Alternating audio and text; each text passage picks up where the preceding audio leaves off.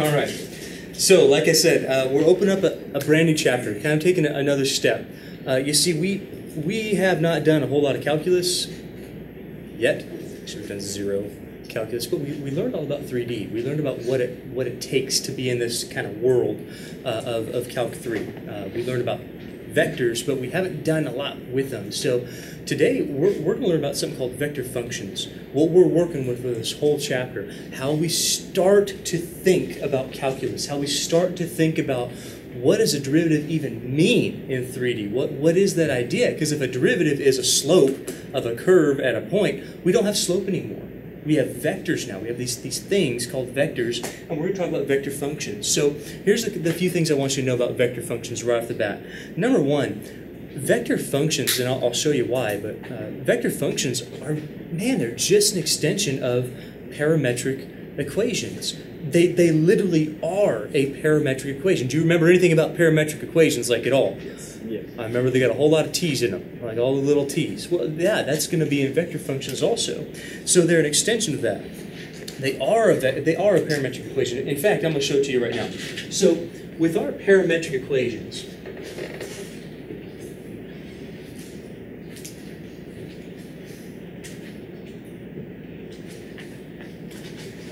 we normally saw them like this. We had x and we had y, and they were defined independently, but they were defined with the same parameter. That, that idea of parametric equation says here's a parameter, it's one variable that's used to define two other dependent variables like x and y. So we have x is a function of t. And we think of it normally in terms of time, even though it doesn't really relate exactly, we think of it time. And then we would have y as a different function of t. Here's my question. What's the only independent variable that we actually have here? T. T. X and Y, even though they're variables, they, they depend on what the value of T is. That's the way that parametric equations work. So, this, uh, this T, let's talk more about it. This T was called a parameter, and it was on some interval that gave a common domain uh, for, for both of these other functions. It means that we can pick whatever t we want as long as it works in both of these functions. So if we have denominators, they still can't be equal to zero. If we have square roots, we still can't plug in numbers that are negative inside of square roots. So they have this, this common domain as well. So this t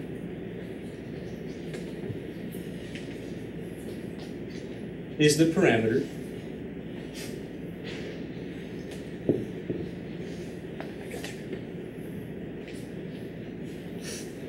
for some interval uh, i on a common on a common domain.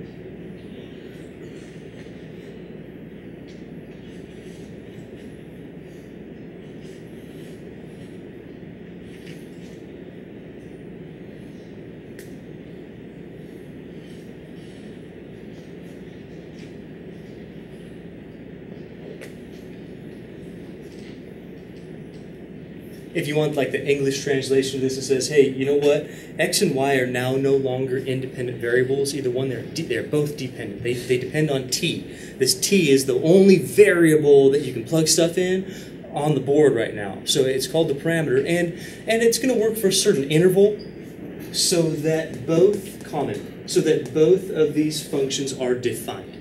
That, that's what that common domain means. It means that we got this interval of t for which these t's both work in both of our functions right now. Show of hands feel okay with that. That's from parametric, but I wanted to kind of clue you in. So, okay, now how do we extend the picture? Well, how many dimensions do you have here? Two, two variables, two axes, two dimensions. If we want to extend this to 3D,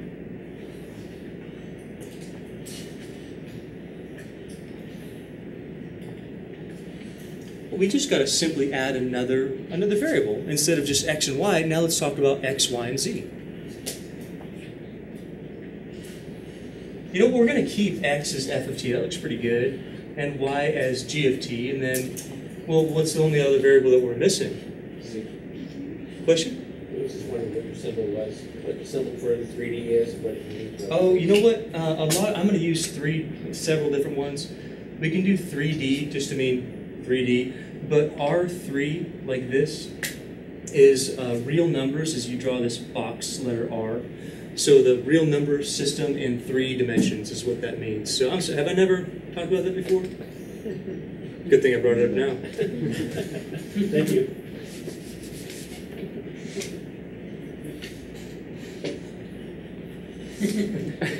You're welcome. For 3 space, for R3, for 3D, same stuff. On a three-dimensional coordinate system, same stuff. We need another another dimension. We need a Z. So let's see. Um, a, B, C, D, E, F, G. Why not? Okay, real quick. How many independent variables do we have right here? How many independent variables? One. There's still only one. How many dependent? Three. In fact, it's really weird, right? Because this is still parametric, but it says for every value of t, I'm giving you an x and a y and a z coordinate. I'm still giving you a point. So for every single value of t, I get a little point in 3D. You can see how we could move around every space in 3D according to this sort of a system. It's parametric. The variable is t. It's called a parameter. Our dependent variables are x, y, and z. We can get a point by plugging in a value of t. Head okay with me on that stuff. All right. Now let's let, let's put it together. T is still our parameter, by the way. I'm not going to write that out, but T is still our parameter. It's still all this stuff still works. It's it's, it's literally parametric. Uh, but but wait a second. Vectors are also defined like this.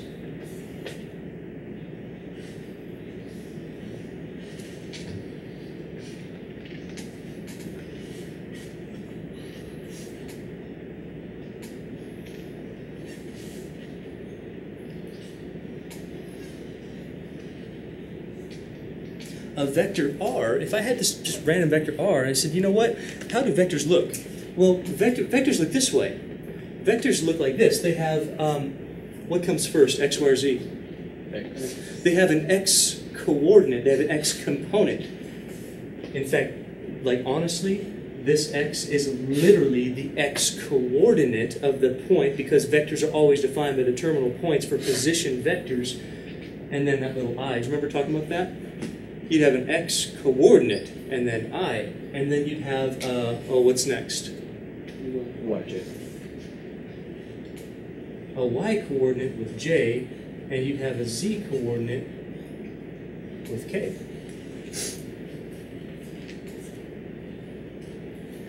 I want to refresh your memory on this one because I- I'm gonna we're, we're almost done with the whole proof of what vector function. Not even a real proof, just putting stuff together. But this is what vectors do.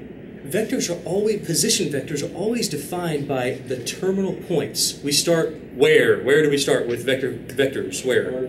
Origin, and they terminate at whatever this this this says. Do you remember talking about that? It was three two one. It'd be terminated in point three two one. So literally, if we had this format, the IJK, the standard basis vector, we go, well, well, yeah, that makes sense. We have the x coordinate and i telling us how far we move along the x direction, along the x-axis. We have oh wait, vector addition. We can add vectors together, right? We have the y coordinate j. How far do we move along the y? and then the z coordinate k. How far do we move along the z? And we put those together, we get a vector, but these are literally the coordinates of the point where this vector terminates. Show of hands feel okay with that one. But, but wait, there, but wait, there's more. Uh, if we look back at this, what if we don't have an actual number x? What if we have this function that gives us a number x depending on what t is? What if we don't have the, the number y, the coordinate y, we have a function that gives us the number y depending on what t is? What if we don't have the number z, we have a function that gives us what the z is depending on the, the, the value of t? Well, then we can take this parametric expression for it and plug it into this vector and get a vector function. That's literally what a vector function is. It's a parametric definition of your xy coordinates plugged into a vector. That, that's, that's all it is. So if we put these ideas together,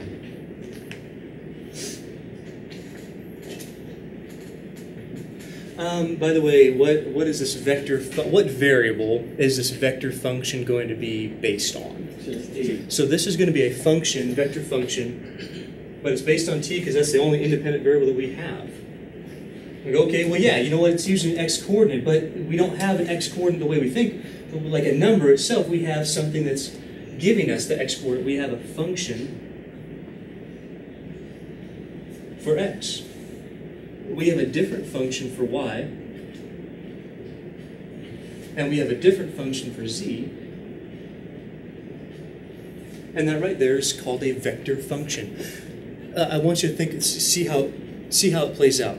I hope that you're, you're with me on this one. Is it true that I can plug in a value of t and get an x value, a y value, and a z value? And if I have ijk, then every single value of t gives me a specific vector. Show of hands if you guys see that. That's what a vector function is.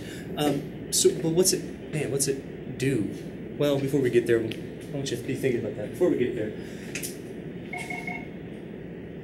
just always keep in mind that's x, that's y, and that's z. Before we get to what it is, there's only one other way we can kind of see this.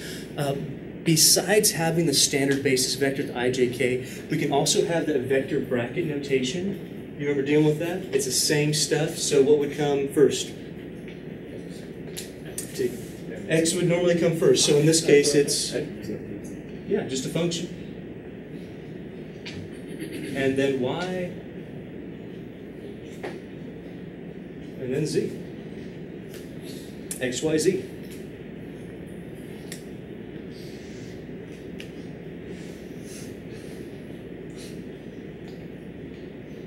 I'm not going to write all of this out, just a couple statements. Uh, keep in mind that that for this to work, you have to have the same domain for what you're plugging in here and here and here.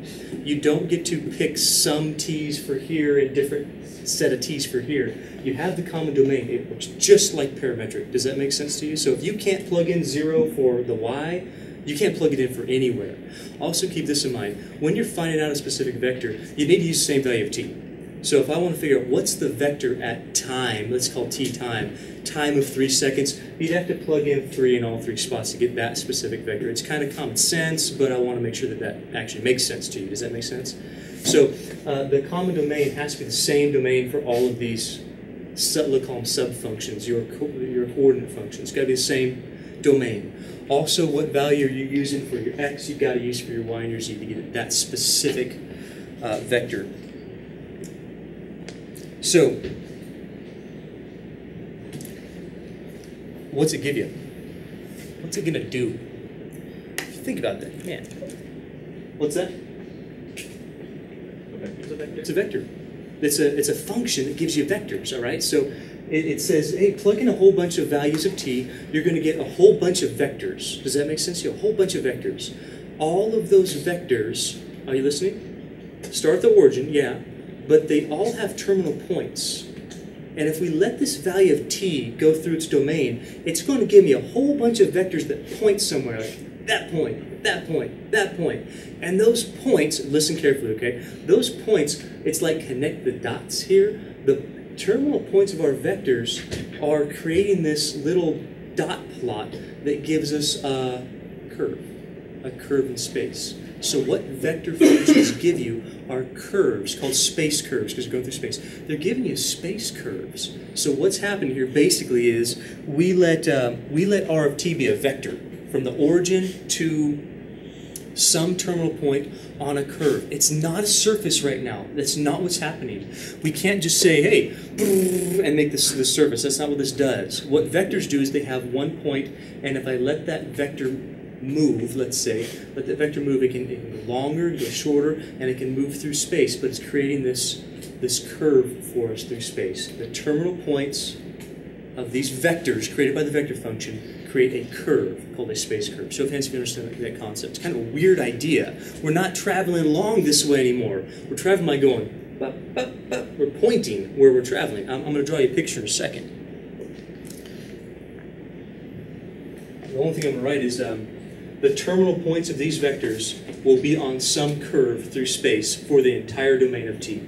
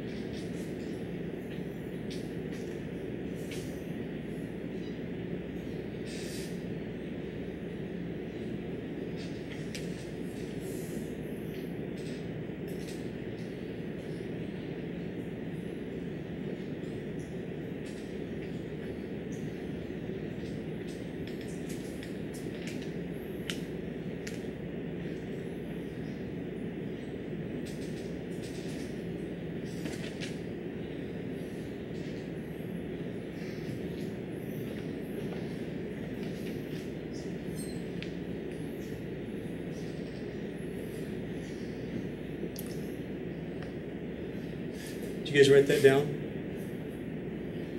Here's, here's what all of this says says in English. All right, it, it, it says, and if you only write it out, I'll write it out too. So, a vector function. Here's the whole statement. A vector function is a parametrically defined function where the terminal points of these vectors trace out a curve in 3D. That is all that is happening. So the terminal points of the vectors trace out a curve in 3D because we have a domain for the independent variable t for our parameter, because we have a domain that goes from smallest to largest, it also has to have an orientation. It's got to be traveling a certain direction through space. Does that make sense to you? So if I'm going, hey, t equals 1, t equals 2, but where time has passed, the, the variable t is, is moving along also in that in its own domain there, which means that the vector points somewhere and then later it points somewhere else. That always gives us an orientation of travel. Head nod if you're, you're okay with that one. It really should make sense, right? It should make sense because vectors are basically defined by their, their terminal points. So, uh, do you want me to write that statement out, by the way? Would that be helpful for you? Yes, okay. So basically, the whole punchline to everything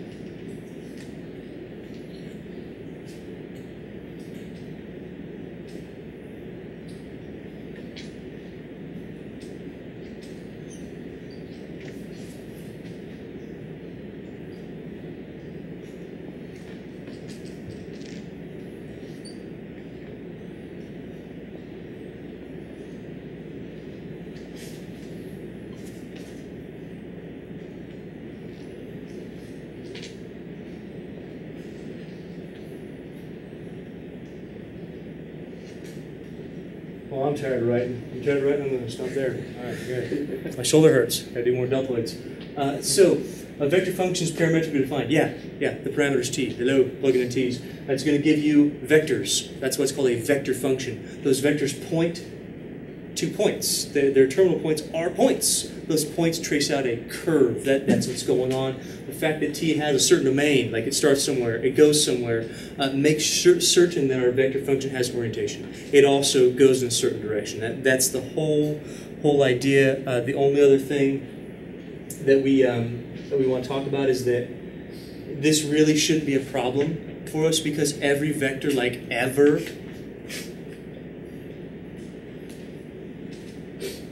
let's say a certain vector, r sub t, r of t sub 0. Let's say it's negative 3, 5, 2. Okay, stick with me here. Point, vector. Which one? Vector. Both. Both. It's a vector, yes, but it has that terminal point. What's the terminal point of this vector? What point is it terminate at? Negative three, five, two. So the terminal point here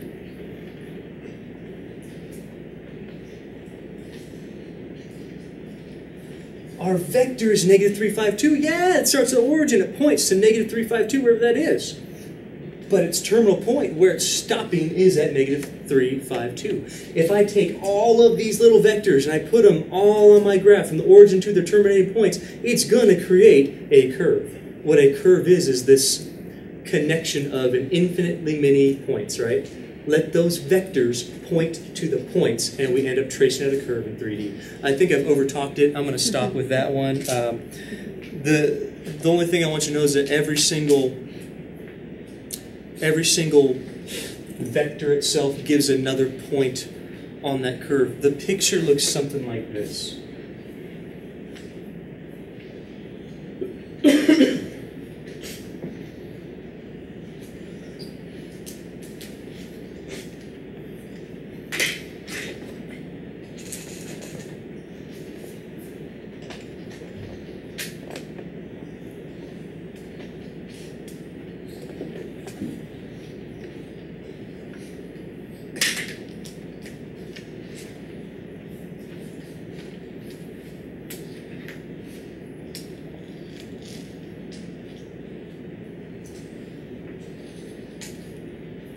Is coming around, wrapping up over top the z, coming around the y, and then and then going on. Do you guys see the picture I'm trying to draw for you? Here's how vector functions really work. It says if I wanted to define this with a vector function, what happens is that I start I start with some, just a, a few examples here. What's happening is that a vector is pointing to these points. Let's call this r sub of t1. I know if you can't read that, that's that's okay. What's going on? I'm not even going to write this anymore.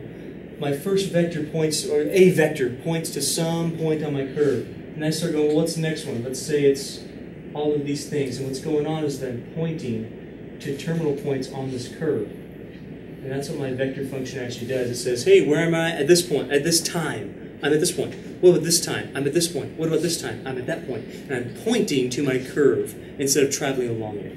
It's kind of a weird idea, but I'm pointing at where I'm at in space. That's that's the plan here. So if you feel okay with the plan. So this is the, the picture of vector functions, really. Pointing where the points are on the curve. It allows me to travel it, but not going through the curve, but standing at the origin, saying here, here, here, here. That's the that's the idea. now, what's nice about them after all that that talk is they're not actually that hard to work with. Uh, you're going to end up probably liking vector functions. Uh, we'll talk about one just one example of vector functions. We'll spend most of our time sketching them because they're a little weird to sketch. Uh, but here's our first, very first example. Exciting. That's what the EX stands for. It's not example, it's exciting. So what it, you're not as excited as you should be. This is this, this it's cool.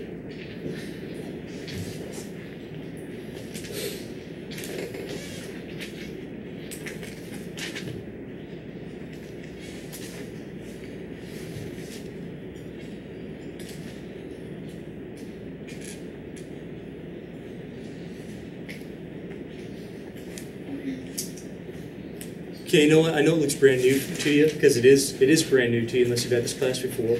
Um, can you can you see that this is a vector function? Can you see it? How can you tell it's a vector function? I could say vector and look inside the vector. There's t's in there, right? You go, oh yeah, functions. Vector given by functions, a, a vector function. That's it. Or if I would have put t's with like i's, j's, and k's, well, that would also be a vector function. There's a couple ways you can write it. here's what I want, want you to understand. When we have this, yes, the x coordinates and y coordinates are going to be here, but they're given by functions of t. You're not going to see a whole lot of x's, y's, and z's. You're going to see a whole lot of the parameter. So what I want to do right now is, is threefold. I want to find the expressions for x, y, and z, because it's going to be very important in a minute. I want to find the common domain for the parameter t, and I want to find uh, just one vector given by a point. So let's start with this one. Let's find x, y, and z. Can y'all tell me what is the function that is giving us the x coordinates here, or the x component uh, of the vector? What is that? Perfect. Hard? No, it's just the first one. Uh, it's just like every vector works, man. Uh, the x is given by square root t. What's the y given by? And what's the z component or the z coordinate of our terminal point? What that? What's that given by? Fans feel okay with that so far? Let's talk. Start talking about the domain. Well, you know what? I'm going to erase this and move because I want to write the domain underneath each one. Hang on.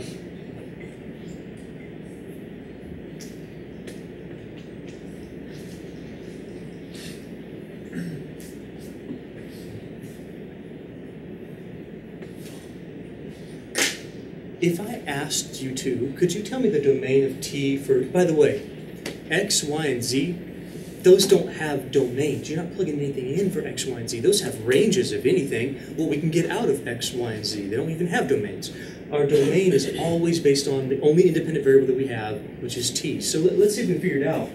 Can you tell me what T has to be, just for the X coordinate? Everybody, come on, what's T got to be?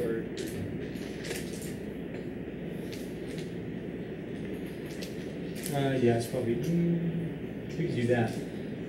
Probably easier to do this way though. So t's got to be greater than or equal to 0. Yes, no? We know we can't have negatives in there. Zero is fine though. How about here? Could you tell me this? Could you tell me that one? What's uh, what's the domain for the y co coordinate or y component? What can't t be? Sure. Why not? Yeah, but anything else is fine for that one component. How about the z? What about, oh, do you remember? What can I plug in for t, for ln of t? Do you remember? Zero, one, Can I plug in zero? no, Can I plug in negatives? no. Do you remember what the graph looks like? No. It's like a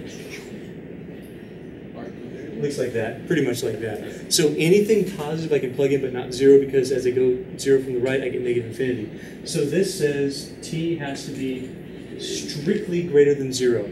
Here's how I do all of these domain problems. I write out what, and this is what you should do too. Write out the x, write out the y, write out the z. Find the natural domain, the stuff that actually works for x, for y, and for z, and take the most restrictive one. Take whatever is restricting you for the common domain. So you go, hey, you know what? I can be greater than or equal to zero here. That's that's fantastic. But this one says I've got to be strictly greater than zero. That knocks one, this one off the board. This one doesn't even matter anymore. You go, oh, don't even care. Because that one's more restrictive. Does that make sense? And then we go, but wait a second, I also can't be equal to one. So when we write our domain, we have to take all of that stuff into account. We say, I what's the smallest value I can have? Two. Zero. But not there, not bracket, parentheses. You remember talking about that? So I can start almost at zero. What's the where do I go? What's the next point that I have to consider here? I can almost get to one. Can I include one? No, that's what that means. But then anything after one is fine. So when we write out these domains for our parameter, for our independent variable, we go, okay, well, write out what you can't do, write out what you can do. I can be greater than or equal to zero, but this one says I gotta be greater than zero strictly. So I know that the smallest value is zero with parentheses. I know I can't have one, so I exclude the value of one, but everything else is good. Have hands feel okay with, with that one. That, that's how you do this common domain. Now the last one. Could you figure out could you figure out two specific vectors? What happens at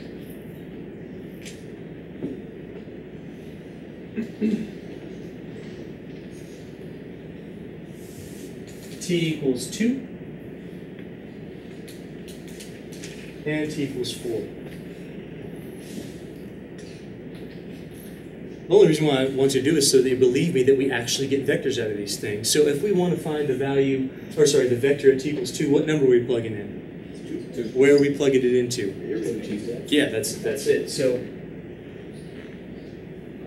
at t equals two, it says, uh, this is all based on on t's, right? Uh, plug it, plug in your t. So plug it in. So if I wanted to find the vector at t equals two, go, okay, plug plug in two. What's the square root of two? I don't know. Leave it. Square root of two.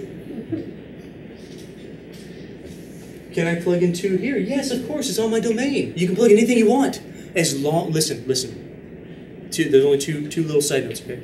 You can plug in anything you want, provided you plug it into every, the same value of t for every single t, and provided that whatever t you're plugging in is in your domain. It has to be in the common domain. You can't plug in one here and here, even though it lets you, because you can't plug in one there. That's the nature of the common domain. You don't get to plug in anything that works for all of this stuff.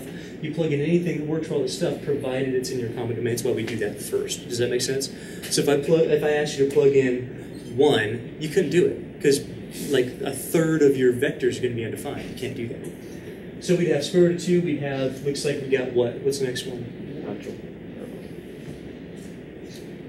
One minus one is one, or one, okay. And then ln2, I don't even know what that is. Just leave it ln2. Now, what is that? What did we just find? It's literally just a vector. It's also give so it's giving us this. It's saying, hey, at the time t equals two, I'm pointing at this. I'm, I'm going along this specific vector. I'm pointing at this point. That's my terminal point, and it's going to be on the curve that this thing defines. That's what's going on right now. Show of hands feel okay with, with that one. All right. Find uh, find the four if you haven't done already.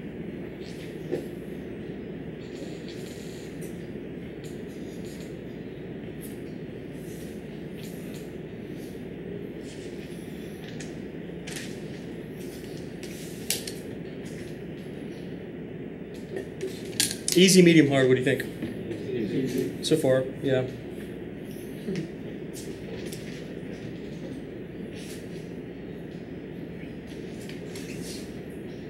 Looks like four, one third down, and four. Did you guys get the same thing I got? Yep. Oh, what? no. Hopefully you didn't. Yeah, yeah, whatever you say, Leonard. I'm not even listening anymore. I have to sleep. Whatever. It's late. Tired. We've been going 35 minutes here. Good. So fans feel okay with the idea of vector functions. So if you want like a 20 second recap, here they are. Uh, vector functions are, is a, a vector, vectors that are given you by equations for x, y, and z independently. That when you put those com- components together, gives you a vector. Points to a point on a curve. That, that's what's going on. We take all the vectors together, it gives us all the points on the curve together. It's just pointing at them. That's what, that's what's happening. In order to plug in points, though, you have to be defined for all three of those components at the same time. It's got to be defined. Uh, that, that's basically it. Now, you can, we're, we're going to move on a little bit. Uh, we're going to talk about how to sketch them because you need to know what these things look like. So we're going to move on to sketching these, these vector functions. I'll give you a piece of advice before we, we keep going. Vector functions can, we're not going to deal with a whole lot of them, but they can have only two components. If they do, it's called a parametric equation. Graph them on a plane. Okay, don't worry about 3D because it's not 3D if you only have two components. It's going to be on a plane. Does that make sense to you? So I'll write a little blurb about that, but we're going to be we're going to be sketching.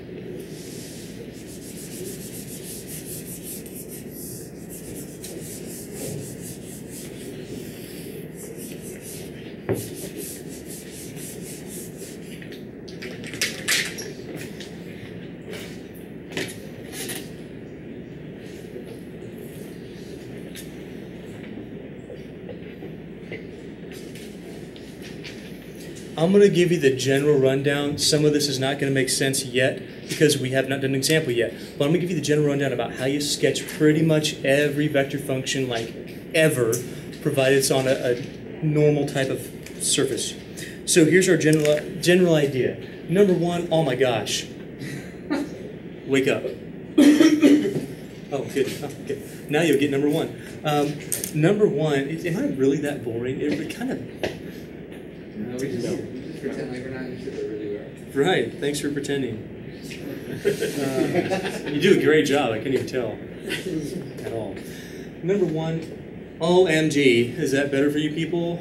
Like toads. Uh, OMG. You're my like BFF. Ah, on the Twitter sphere, hash brown tag, LOL. Just throwing stuff on the line. I don't even know. Face space, my book. I don't care. Listen. Uh, number one, write down what X and what Y and what Z are. Independently, do not try to do it in your head. Write, literally write them down. Identify X, identify Y, and identify Z.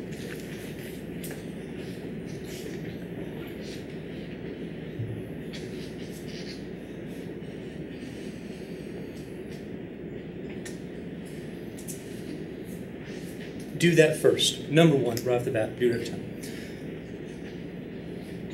Number two, use one for 2D. For 2D, it's a, it's uh, use both, but for for 3D, for these actual curves, identify one or two components to make up a curve or a surface. Uh, trust me, it's going to be vague right now because we're not doing an example, but this is what we are going to be doing. So number two, use one or more components to find a curve or surface. In order to do this, we're going to have to get rid of t.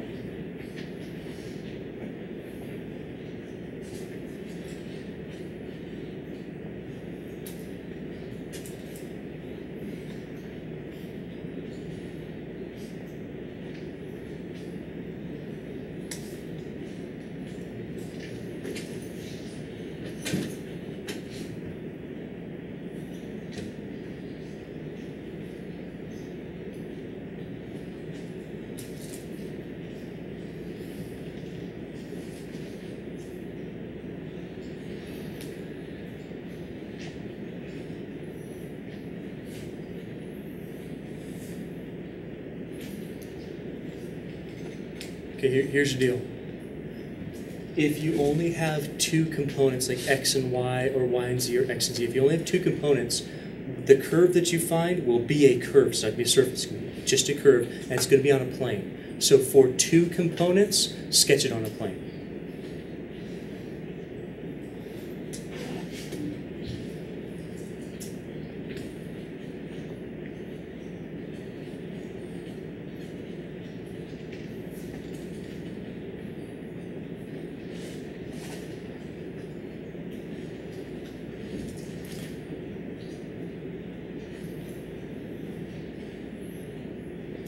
for three components, for three components, you're going to be sketching that curve. Please, please listen. I don't want you to get lost here. Listen. Vector functions, they are curves. They are not surfaces. They are curves. So this, I'm gonna, I've, I've lost people before on this. Like, what do you mean you're talking about surfaces now? Yeah, but there's a caveat to this, okay? These are all curves. They're pointing to points, man. It's good. You're going to create a, a curve. That, that's what's going to happen. But what happens here if we if we use this model? These curves are going to be sketched on the surface of some of these surfaces. They're going to be traveling like a cylinder. If it's a cylinder, it's going to be traveling along the cylinder.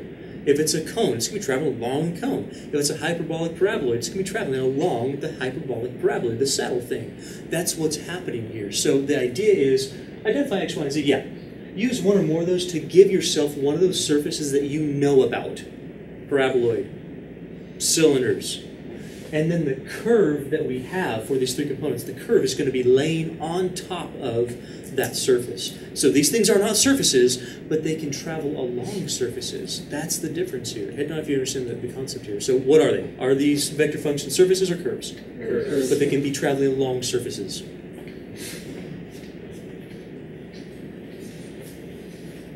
So for three components, the curve, the vector function, will be on a surface.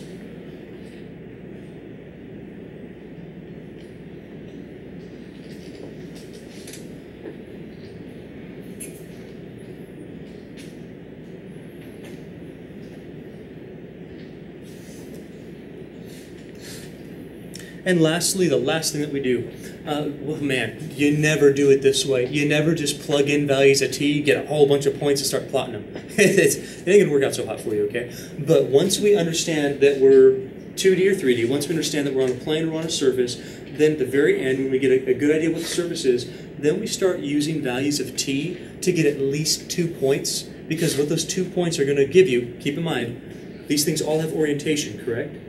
So we're going to be able to travel along that surface with a given path. Go, oh, we're going this way, or we're going this way. So we're going to use at least two values of t to find out our orientation and to figure out at least a little bit of, of um, how the curve looks.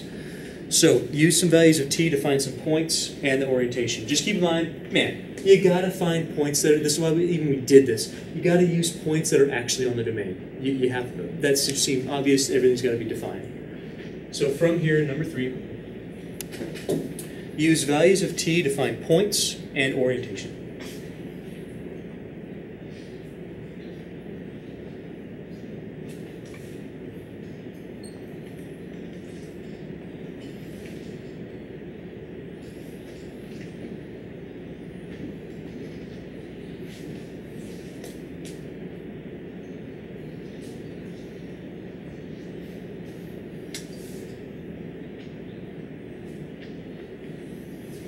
Tell you what, we're going to do two examples and we'll pause for a break. We'll come back. We, we don't have that many, honestly, uh, just a couple. Then we'll talk about limits and continuity, two of the easier things that you'll ever do in this class. Uh, and then we'll be done with our section. It's a quick section. So let's start with um, with just some 2D ones. They're, I know they're parametric, well, one 2D one, then a 3D one. They're just parametric, but I want to show you exactly how to work with them. So here's our first example.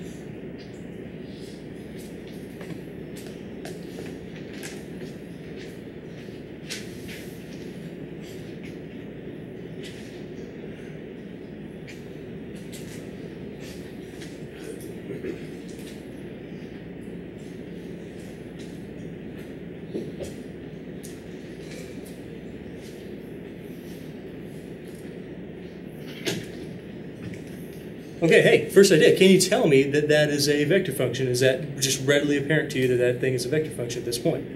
Yes. It says, hey, vector given by a variable. That's a vector function. That's what that thing is. What is the one variable that we have up here? T. But it's also given us some components. That t should give us x, y, maybe z. So right now, number one, I want you to write it explicitly. Don't do it in your head. Trust me. It, it's going to be a lot easier if you write this out. Trust me. Trust the Leonard. Has the Leonard ever steered you wrong?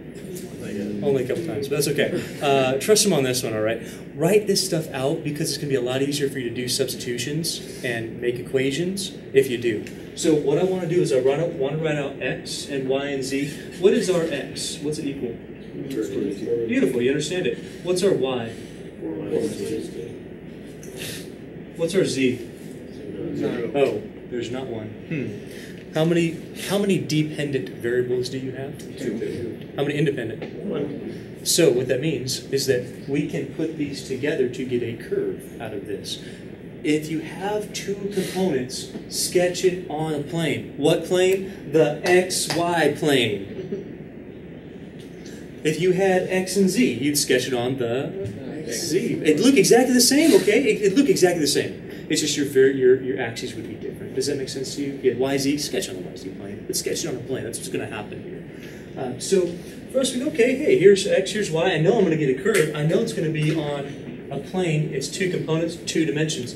So start doing all that math that you know how to get rid of t. So use substitutions, use whatever you need. So for instance, here I go, okay, um, I know that x is the square root of t. I know y is 4 minus t. What if I, let's work here and try to do a substitution, or you can go this way, it doesn't really matter, but this would be a little bit nicer. Can I get this t so that I can make a substitution? What would I do over here? Square. Yeah, you do stuff like that.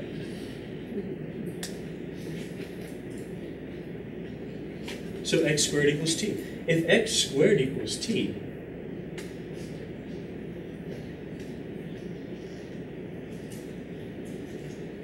then y equals 4 minus x squared. Or if you like it better this way, I like it better that way, negative x squared plus 4. Here's the whole, whole point. Identify x, y, and z, we did that. We only had x and y. Use one or more components.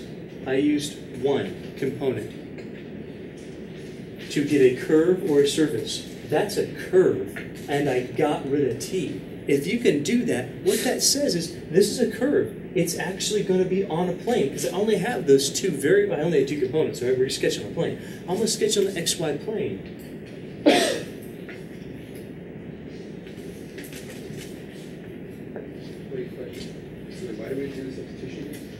Because what we're going to try to do is get some sort of curve we understand out of this, all right? And so we go, well, you know what, I can't sketch of this and this very well for, for myself, so let's do a substitution to get rid of that t. Just like parametric from Calc 2, when, when you graph the, every time you did parametric, if you think back, look at your notes, look at the videos, every time we did it, we basically got rid of the parameter. Like every single time. Why? Because we don't know how to, we don't know what that is in our head. That's really hard to think about x and y independent of each other and then put it together. When we put them in one function, however, that makes a lot of sense because now we're rectangular. Watch carefully though. Can you graph that? This is, come on people, what is that? Opening downward, love it. And on the Y-axis. that one. So this is, I'm going to give you a bit of advice with these two-dimensional stuff. When you're graphing the curve itself, graph it in a dotted line. Would you do that, please? Uh, here's the reason why. When we graph this in a solid line, this, listen, this, this, this is nature parametric equations and nature vector functions. This gives you way more than what we have in, in this graph, okay? So this is going to give you the the curve that our curve is on. I know that's weird. It gives you the curve that our curve is on. Okay, it gives you the pathway that we're going to, our vectors are going to point to. Uh, where the actual point to could be less than this. So I'm going to graph it like like this. This is negative x squared plus four. That's that's what that thing is listen, this can be, it's not necessarily super hard, but it can be confusing. Um, are you guys okay on identifying X, Y, and Z? Show hands if you are, if you're okay with that one. It's probably the easiest part. Are you understanding that we're going to use one or more components to basically get rid of T, to figure out some sort of rectangular sort of equation that we can graph? Head nod if you're okay with that. If you have two components, graph it on a plane. If you have three, we're not there yet. We'll graph it in 3D. We're not there yet.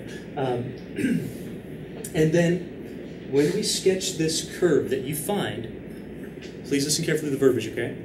This right here is just normal curve. The vector function will lay on top of this curve somewhere or on top of the surface if we're in 3D. The vector this is not the vector function right now. This is the curve. You guys see what I'm talking about? It's the curve. The vector function is going to be on this. Yeah, but it doesn't have to be the whole thing. It's going to be part of it. Later on, we're going to have a surface. The vector function is not the surface, it's on the surface. Just like the vector function is not this curve, it's on the curve. I know that's a small point, but let's see what actually happens here. The last one is use values of t. Um, let's plug in negative 7. Should I do that? What should I plug in? Probably 0 to see where it starts. Because this is going to have an initial point, it has an orientation. We just start somewhere for a, for a defined domain like that. So if I plug in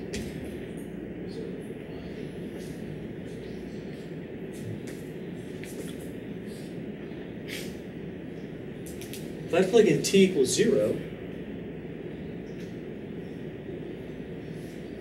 if I plug in t equals zero, listen though, where we plug in, where we're plugging points in, they have to be values of t. They're not values of x or not values of y. They're values of t. So we go back and we use this thing. Can you plug in zero into my vector function? Of course you can. What is it? Zero four J. Four J. I'm sorry, what? Four J. 4J. I thought you said 4T. I was like, no, guys, we're plugging in for T.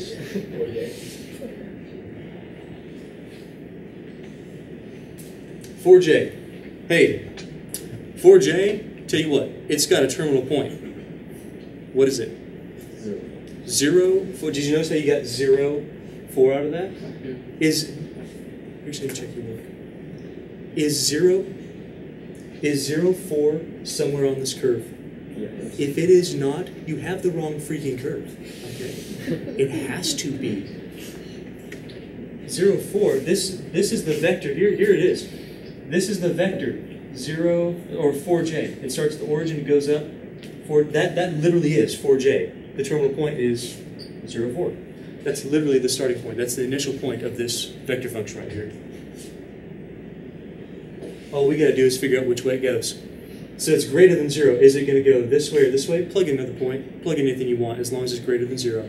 Plug in one, plug in two, I don't care which. Plug in four. I'd probably plug in four. Why? Because it's nice.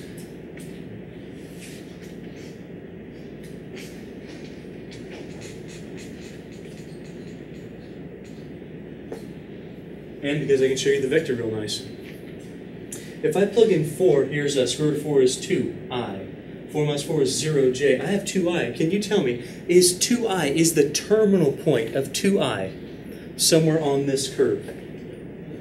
Some of you guys aren't even, aren't, Yes. are you guys with Yes. me? Yes. Seriously? Because 2i, 2i does this. Goes up here, here's 2.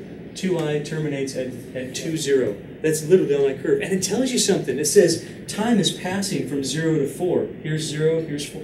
So time is going like this. My vectors are doing, they're pointing at these points, going this way. What that tells me is that my curve starts here with my initial point.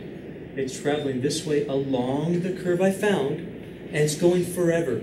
And my vectors are doing this. It's pointing at all these points my orientation. You don't have to show this. You don't have to show the, the little vector functions. I'm just showing you what it's actually doing. What you do have to show me is if it has an initial point, you got to show me that. If it's got a terminal point, you got to show me that, and you got to show me the orientation. Since we start here and later, we call it later time-wise, we hit this. I know the orientation is that. You did the same thing with parametric. It literally is parametric, but I know that a lot of teachers in Calc 2 just go through it very, very fast. I personally don't. Uh, but a lot of teachers do. They go, oh yeah, parametric, you get it later. Well, you're now getting it later. Here's my next question. This was part of the curve. Is it part of the vector function? No. No. The vector function lays on top of the curve or the surface that you find. That was the big deal. We don't even need that. That's the vector function. Show of hands if you're okay with that one. Okay, tell you what, um, you guys want to take a break now or you want to do one more and take a break? I don't care, either way. One more? Okay, it'll be pretty quick. It's just going to be very fast.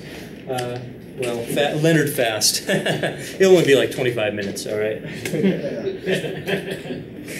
I know Leonard Fast is slow. I'm sorry. I like to talk and hear my own voice. Uh, I mean, did that come out?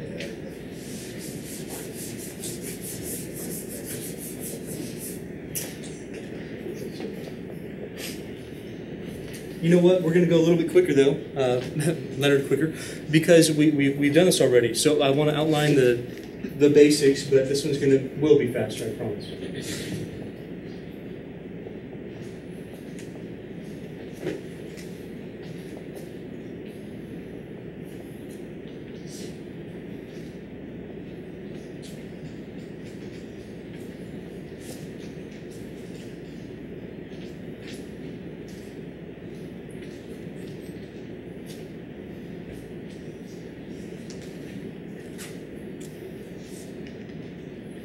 First question I got for you. Is that a vector function in your eyes? Yes, no. Vector function, yes, no. Yes. Absolutely, it's a vector function. If it's a vector function, you need to immediately identify what x, y, and possibly z are. Can you identify the x, y, and the z components right now? Go ahead and write down, would you?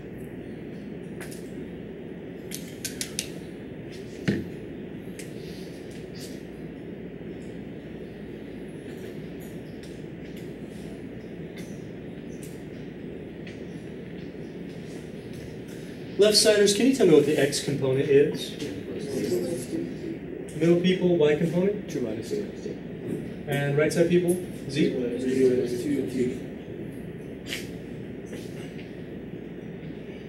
Did you make it through section 11.5? Yeah.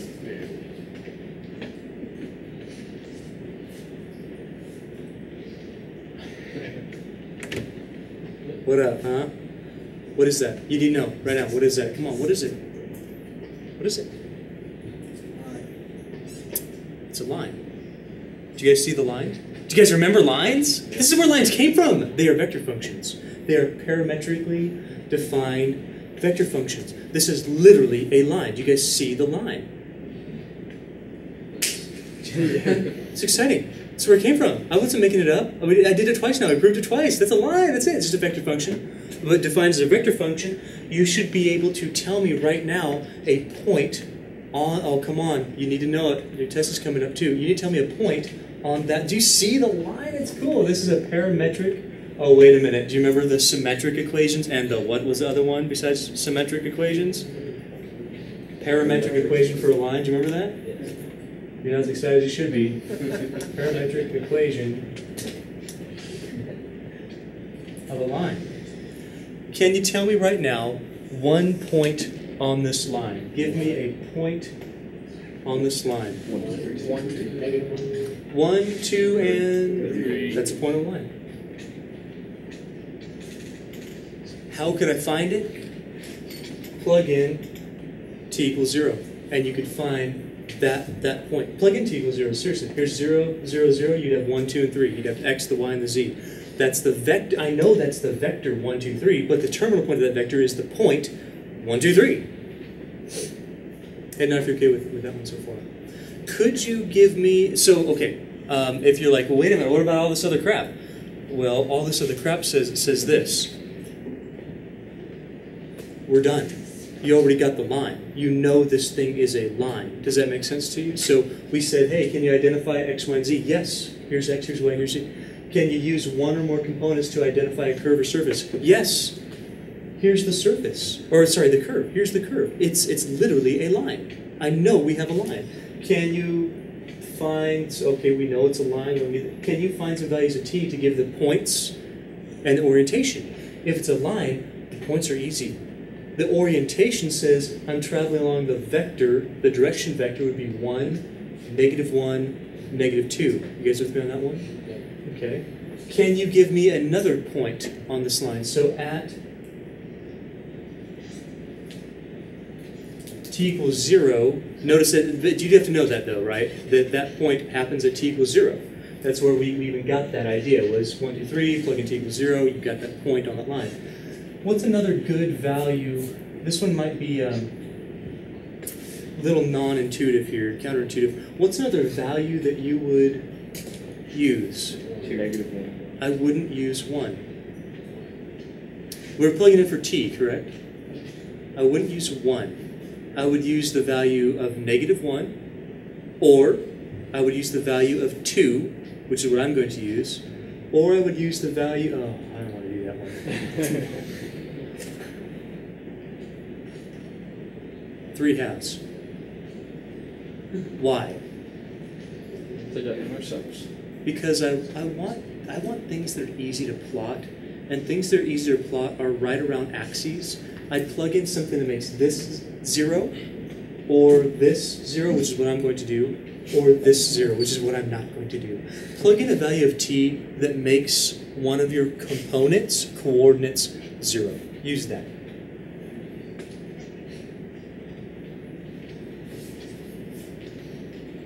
Use value of t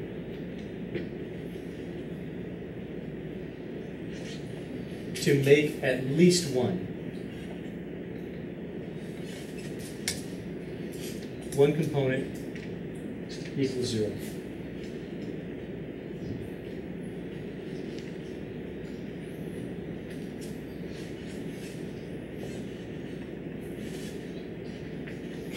So I'm going to choose two because I don't want to go negative because that's going to be, and it's also because it's.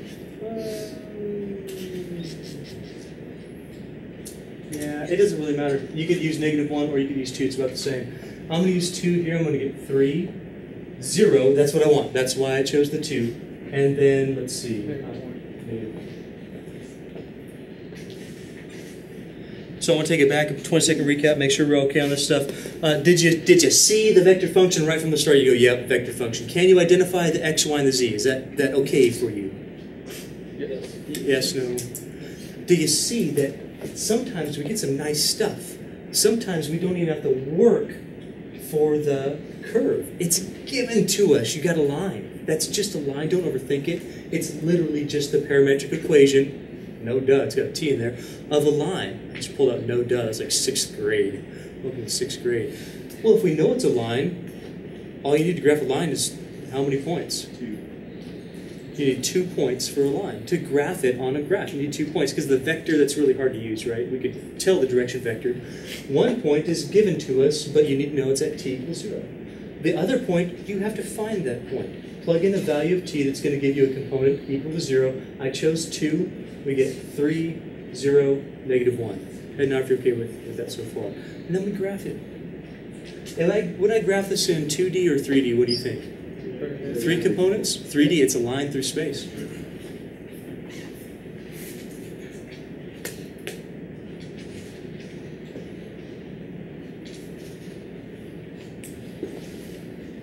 Now, of course, that means that you know how to graph or plot those points.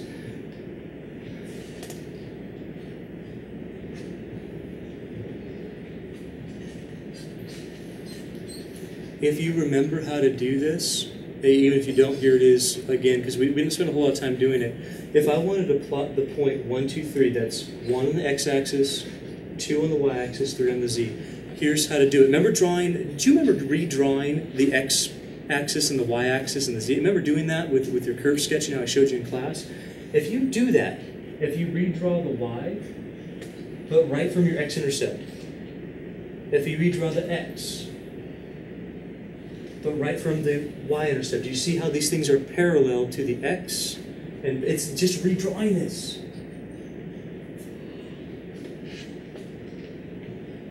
It's just redrawing your x and your y, but at the appropriate coordinates. Head nod if you're okay with that one. Here's your x, here's your y. It's at y equals 2, yes, y equals 2, and x equals 1, yes. And where they intersect, right there, that is the impression or projection of this point on the xy plane. Like looking down from a bird's eye view, that's what it would it look like it's shooting through, okay? We just need to translate this three units up. There's two ways to do it. Probably the easiest way is this way. Just watch carefully. I can't do it a whole bunch of times, okay? It's this way. Wherever that projection is,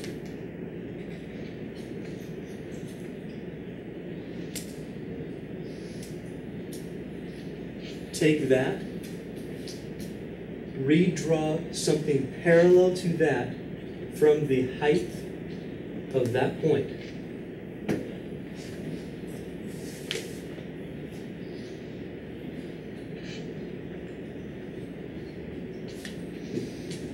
And then, just like we drew the parallel to the x, just like we drew the parallel to the y, we're also going to draw the parallel to the z, but you're going to do it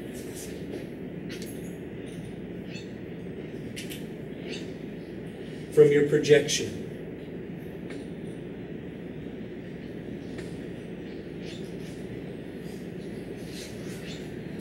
Erase a little bit.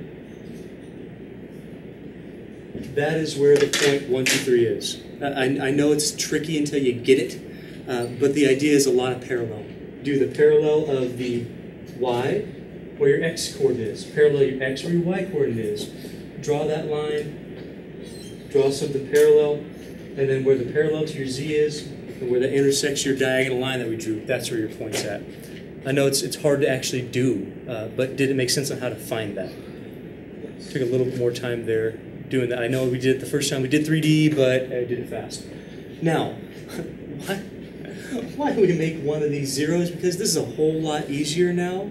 Because when your x or your y or your z coordinate is zero, you're actually on a plane. So when I do my next point, my 3, 0, 1, everybody, real quick, what's the x coordinate of 3, 0, 1? What's the x? 3. So I come out here. I know I'm at that x coordinate, head nod. What's your y coordinate? Zero. Ah, that means that from here, I don't go out or I don't go back.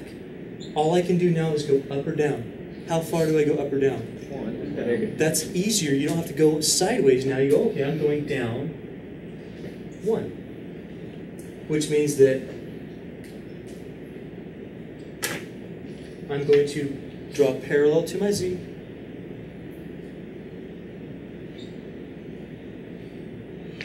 I'm going to draw parallel to my x because I'm all I'm dealing with is x and z right now. Correct me if I'm wrong, but my y is zero, right? So x and z is the only two things I want to draw parallels of. And where those guys intersect,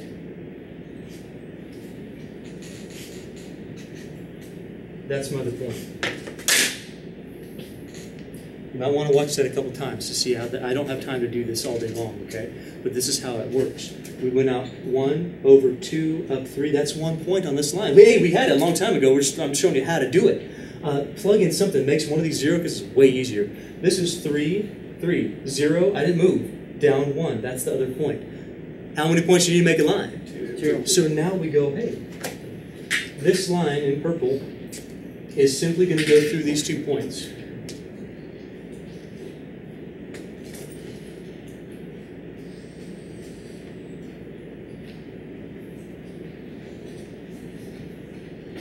It's hard to visualize that because that line is going through 3D, uh, but that's what's happening. This is coming out of the board and going down. That, that's what that's that's do. That's the first line we've ever graphed in 3D because it takes vector functions to actually think about it, actually do it. Now, um, the orientation.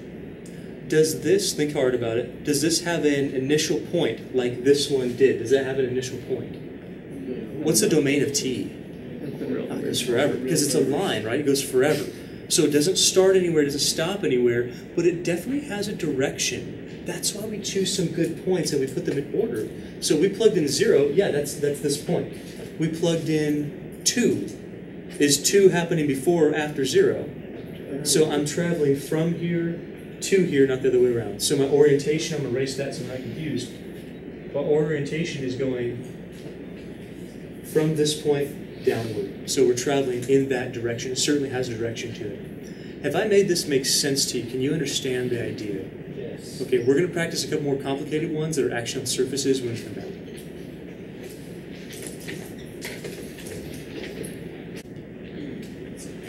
Okay, so back at it. Uh, some real, real live vector functions. Stuff that's not just lines. Stuff that's not just 2D. Stuff that's real, like 3D. I'm going to show you exactly how to do that right now. So the stuff I've given you, now it's going to be a lot less vague. Those instructions that are on the board, a lot less vague right now.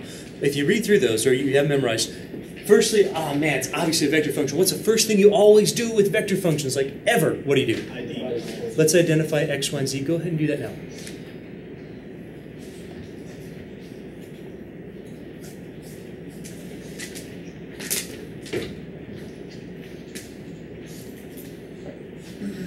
This is not the hard part, right? This is not the, the hard part is the surface, and then sketching on the surface. That's the hard part. So, what is your x, everybody, please?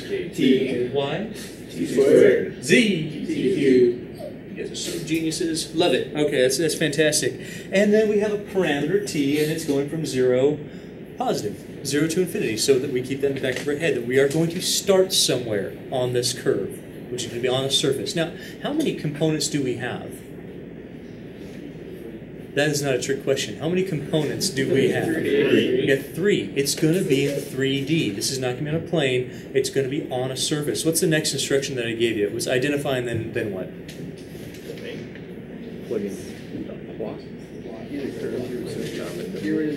I know, I wrote it down.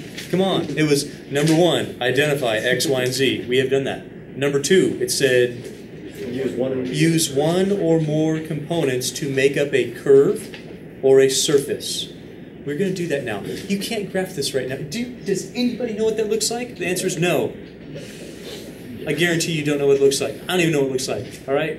We're going to have to identify the surface that this is going to be sketched on top of. How we do that?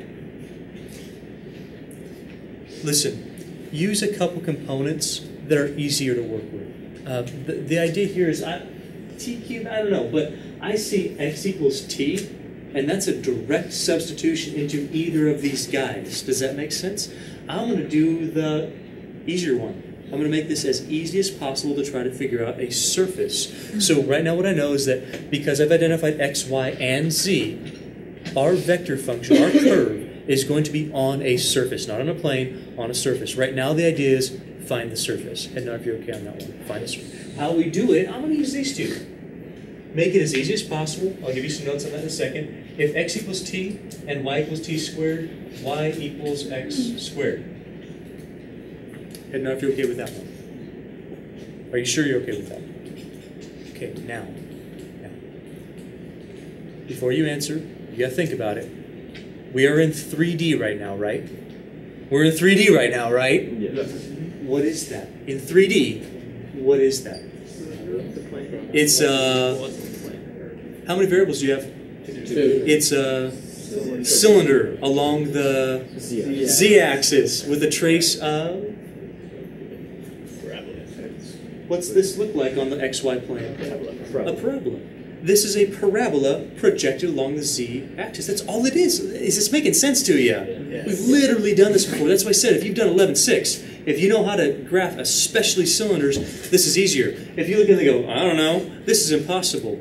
You need to know, okay, there's there's two variables. I am in 3D though, because I have three components. That means that's a cylinder along the missing variable z with a trace of a parabola on the xy plane. That's what it is. Write it down.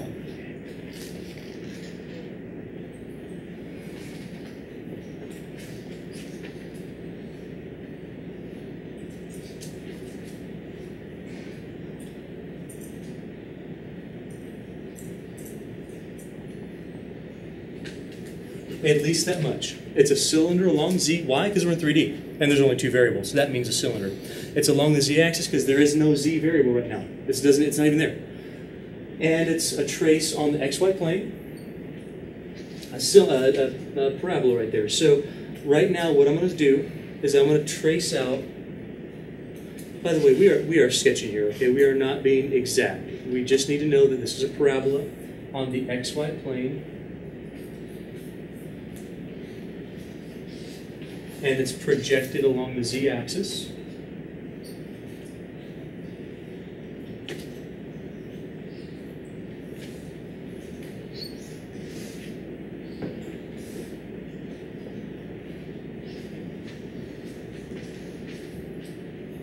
And it looks about like that. Can you guys see the cylinder that I've tried to create there for you guys? Head nod if you can see that. So this is a cylinder of that parabolic shape that's just traveling along the Now, here's the whole big kicker.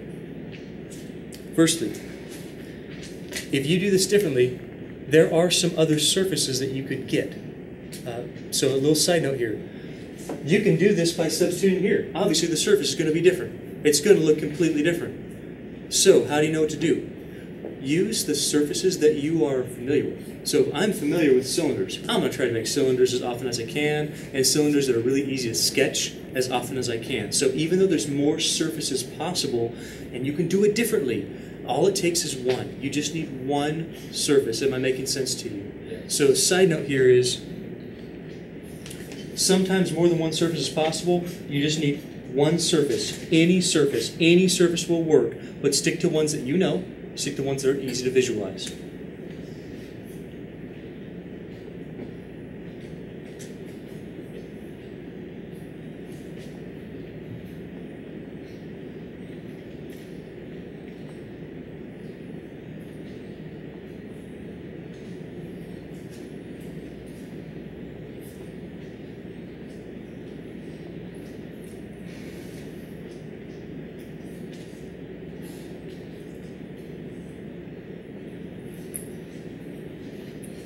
One surface is possible, stick to ones you're familiar with. Cylinders.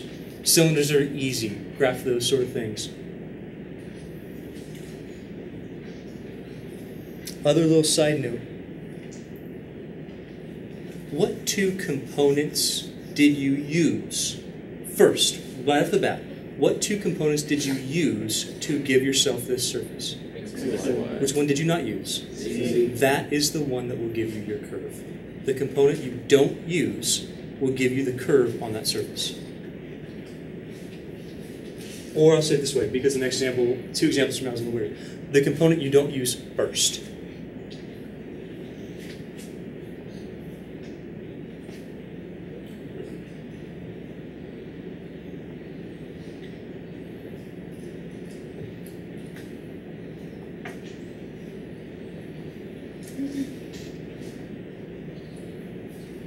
Pause right there. There's a little bit more to that that I'm going to say in just a second, but I want to make sure you're absolutely certain of what is going on. Firstly, look up here at the board. Do you understand how to get this surface? Do you understand that it is a, put it together, it is a cylinder along the z-axis with the shape of a parabola on the xy plane, just traveling right along. Do you understand that? Is this the vector function? Is this the curve that I'm looking at? No.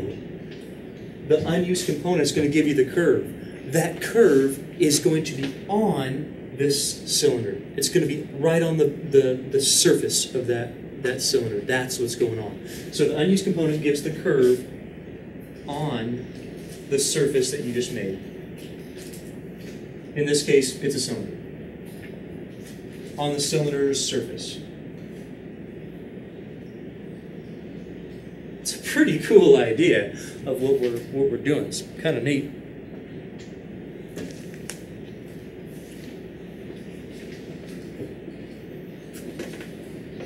If you need it even more explicit, this gives the cylinder or the surface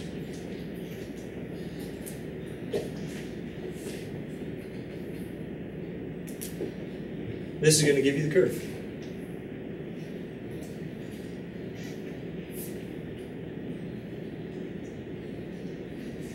How? Well, let's let's think back to those directions that I gave you. Did we identify X, Y, and Z? Did we use one or more components to give ourselves the surface? The last thing says, if you want to read that again, the last thing says, um, find some points.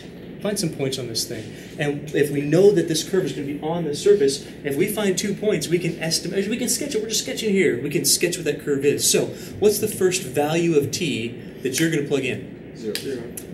Yeah, zero. Absolutely. Why? Because that's what your domain says. Start at zero, that's my initial point. Okay, now listen, where are you going to plug it in? Are you going to plug it in here, here, or at the very beginning? That. That's what you're going to plug it into. That's the vector function. That's going to give you your terminal points.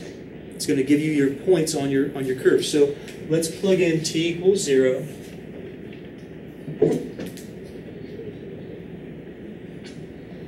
And we'll do only one more. Okay, you know what? I know it's a tricky one, but uh, plug in t equals zero. You tell me the point. What is that? Hopefully you're plugging in zero. Okay. Uh, zero. So the vector is the zero vector. It's zero, zero, zero. The terminal point. No, so I'm cheating here. Okay. I'm going to just write down terminal points. It's all I care about is a point right now.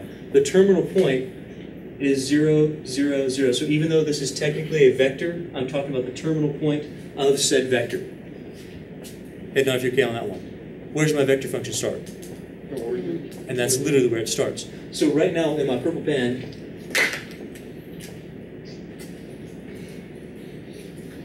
I know my curve starts right there. I know for sure. Now, the reason why we draw our surface is because it makes it a lot easier to plot points and a lot easier to estimate what that curve is going to look like.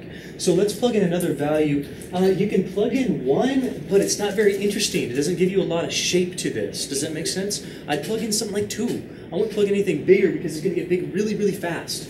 But I'd plug in 2.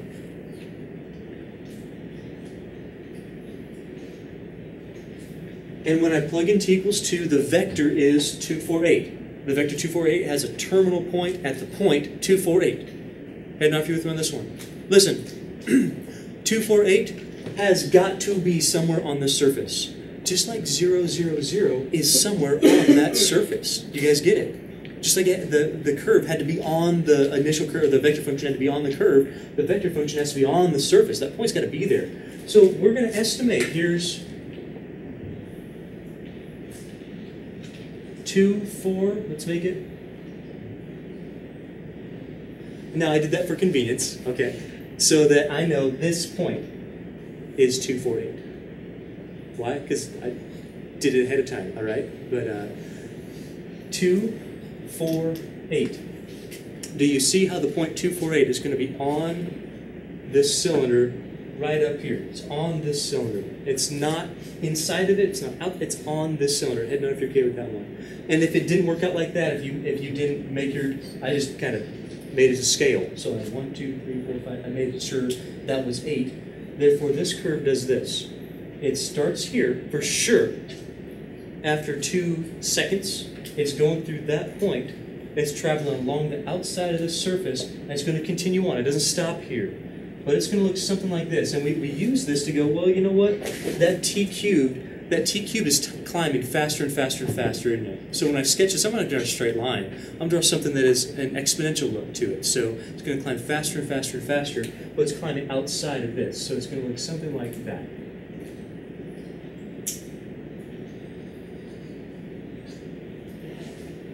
Always do it better fast.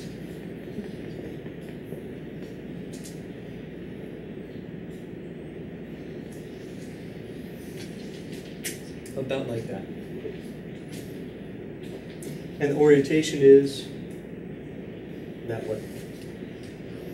I want to know if that one makes sense to you. Show of hands if it does. You feel okay with that one. So we had initial point. Yeah, it's got to be on the surface. Find the surface first. Find an initial point if you, if you can. At least find two points. Sketch along the surface, not inside of it. Generally, not straight lines along that surface. Are you sure it makes sense? Let's try another one. Uh, we're going to go through this one about the same pace. So, hey, firstly, do we get a vector function? Is this vector function going to go forever, or are we going to have a terminal point? For sure. Why? Because it gives me a definite domain for that. Now, with every single vector function ever, you should be able to identify x, y, and z. I want you to do that right now. Go for it. x, y, and z.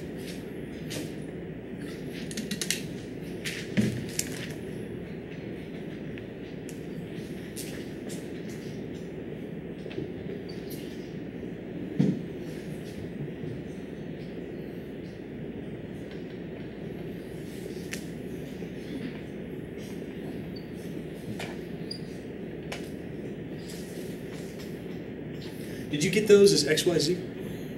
You know, with the easy one like the, like the line, it was pretty easy to see it was a line. I don't know what that looks like unless I can find a surface to draw it on. I definitely don't know what that looks like unless it, do you know what that looks like? Here's what X is doing, uh, 2 cosine t. Here, here's what Y is doing, 4 sine t. Go, and then Z, t. I, I don't know what that does. I know that Z's climbing at a constant rate. That's, that's okay, but what's it climbing around? What's it on? What's it look like? That's what all this stuff does. This says put together a surface. It's a surface. It's gonna be on the surface. We gotta do the same thing with that. I don't know why my voice did that. Sorry. It's a surface. I can get all squeaky like that too. Sweet. Um, it's gonna be on that surface. It probably should because my voice is the same harmonics as this fan. So when I try to lower the fan out of the video, it also lowers my voice. It's very annoying to try to edit that. It's nice to just talk like this. It's way higher. but then you would all walk out. so number one, you identified X, Y, and Z. Yeah. Number two, use at least one, probably two components. Probably not all three. Sometimes we have to, but probably not all three, to try to make up some sort of surface. Now, it's counterintuitive. You're going to use these two. Why? Because you think back to parametrics. And if you think back to parametrics, you know that x equals cosine and y equals sine. It's going to give you a circle or an ellipse. That is what it's going to give you. Why? Because cosine squared, sine squared, that whole cosine squared plus sine squared identity equals 1. We can substitute for that. So I go, this one, that, that doesn't do much for me. Especially if I go, hey, y equals 4 sine z. I, I, I can't even graph that. So I don't even know what that means. But these two, these two, I know that if I solve for cosine and for sine,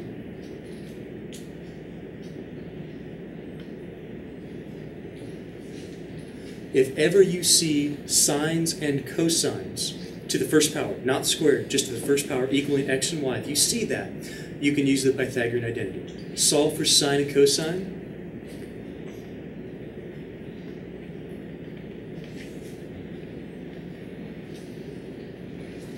Know you're familiar with that, but it's it, you gotta see to solve for cosine and sine to be able to use that. So I know if I solve for cosine and sine, I, I got it. That's x over 2, that's y over 4, respectively. But I also know that cosine squared plus sine squared, as long as you have the same parameter, that always equals 1. Which means that if that always equals 1, I can take my cosine and substitute x over 2 for it. I can take my sine and substitute y over 4 for it. Now I've done some math here. I actually squared it, but do you see where the x squared over 4, y squared over 16 comes from? Show of hands if you do feel okay with that one. yeah, put it together. Come on, think about this. This is in, let, us think about it. How many components do you have? Two, two. Total components. Three. It's going to be 2D or 3D? Three. Three components, 3D, for sure. Well, we use two of them, yeah, but what is it? Think 3D. That's why we think first. Is it 2D or 3D? Because this is going to change, right? It, it matters. What is this thing? What is that? Cylinder. It's a cylinder along what axis? Yes. And the shape of the, what is it? Ellipse. Ellipse is on what plane? X, Y. Yeah, that's exactly right. So, do you guys see that that's a cylinder? Two variables, but 3D, right? Two variables, it's a cylinder.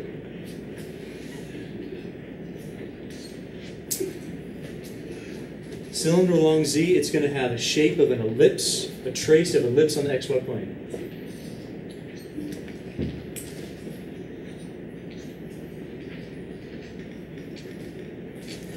I want you to practice right now. I want you to practice drawing this ellipse on the XY plane. Try to draw that cylinder. Try seriously. I'm going to give you a minute, uh, one minute. Try to draw that cylinder. I'm going to draw it as you're doing it, but I want to make sure you know where this thing is. It's got to be on the XY plane. I need you to know your X intercepts, your Y intercepts, what axis it's along. Try it.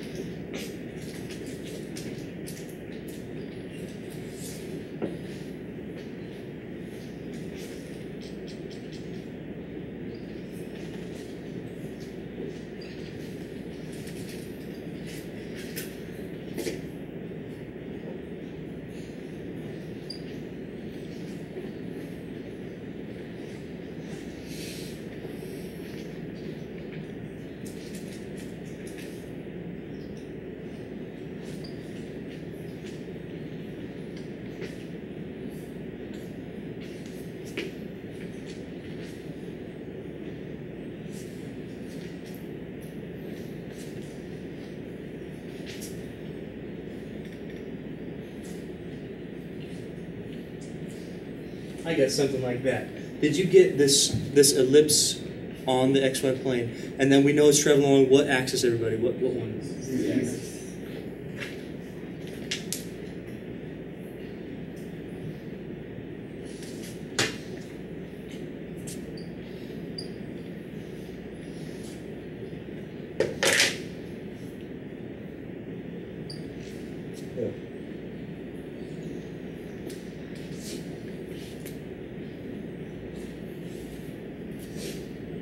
Something like that.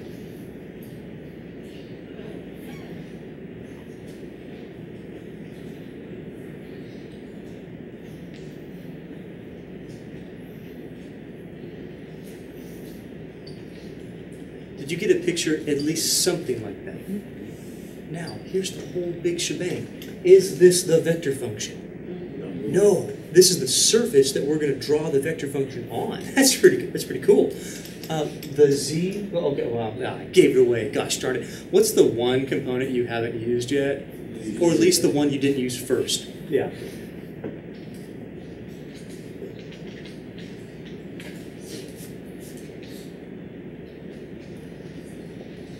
Z equals t is the curve that's going to be on that cylinder. So, so right now, this is why we do it this way. We do the cylinder so we don't got to worry about how that curve is taking shape. We know that that curve is going to travel along this cylinder for a certain period of time. Now, how we do it, man, just plug some points in. Plug in some points. Uh, what's one point that you would definitely plug in right now? Zero. Okay, everybody, right now, what's where where are you going to plug that that point in? Where are you going to do it? The very, very original part. So right here, you're going to plug that in. It's going to give you a vector, but vectors always have terminal points, which is really nice. It's going to give you a point. Hey, true or false? True or false? That point is going to be at the origin, yes or no? False. Let me ask you a question, see if you're really paying attention. Some of you are, some of you are not. Is this, can this curve possibly go through the origin? No. Does this cylinder pass through the origin? Then the curve can't pass through the origin. The curve, if you're getting it, the curve has to be on this soda can. It's got to be on there. If you get off that soda can, you're wrong. Okay? It's if you find any point that is not somewhere on the cylinder, you have made a mistake. Fix your junk because your, your math is off. All right? I can't. I don't even care what. I cannot go through there because my soda can does not. it doesn't go through there. It's on. It's on the edge of that soda can. That's what's going on. So if I plug in zero, I get two. I get zero, and I get zero. So two zero zero. Hey, now if you're with me on the two zero zero, can you please put the point two zero zero on this graph somewhere and see where it is? Can you do that? What's the x coordinate?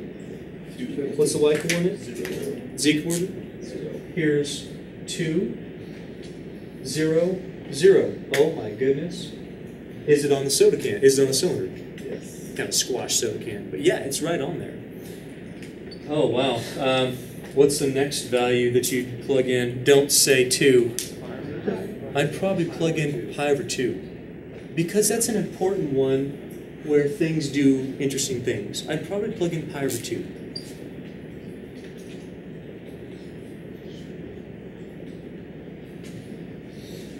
Now the z's not going to be very nice, but the x and the y are going to be very nice. Let's plug in pi over 2 and see what happens. If I plug in pi over 2 here, cosine pi over 2 is 0. Sine of pi over 2 is 1. Pi over 2 is pi over 2. You guys okay with that one? Hey, question, question. Is that somewhere on your cylinder? The point 0, 0. Okay, here's 0 for x. 4, 1, 2, 3, oh my gosh. And then up pi over 2. How much is pi over 2? Well, half of 3 point, well, 1, 1.6, roughly.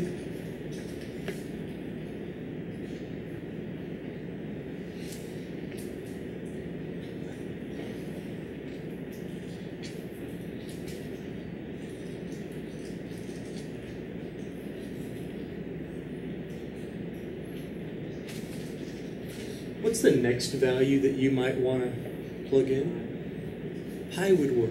What pi is going to do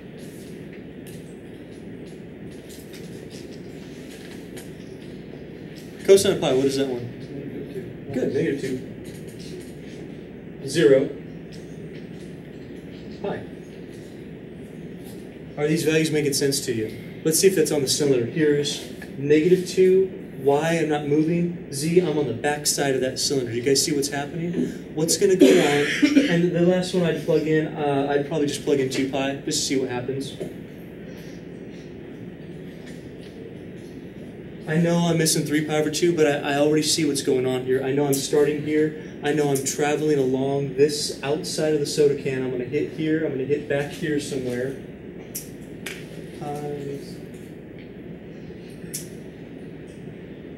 Roughly there.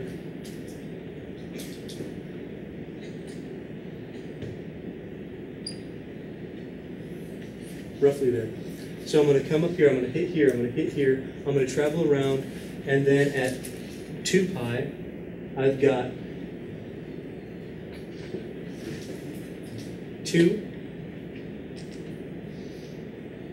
0, 2 pi. 1, 2, 3, 4, 5, 6, half roughly.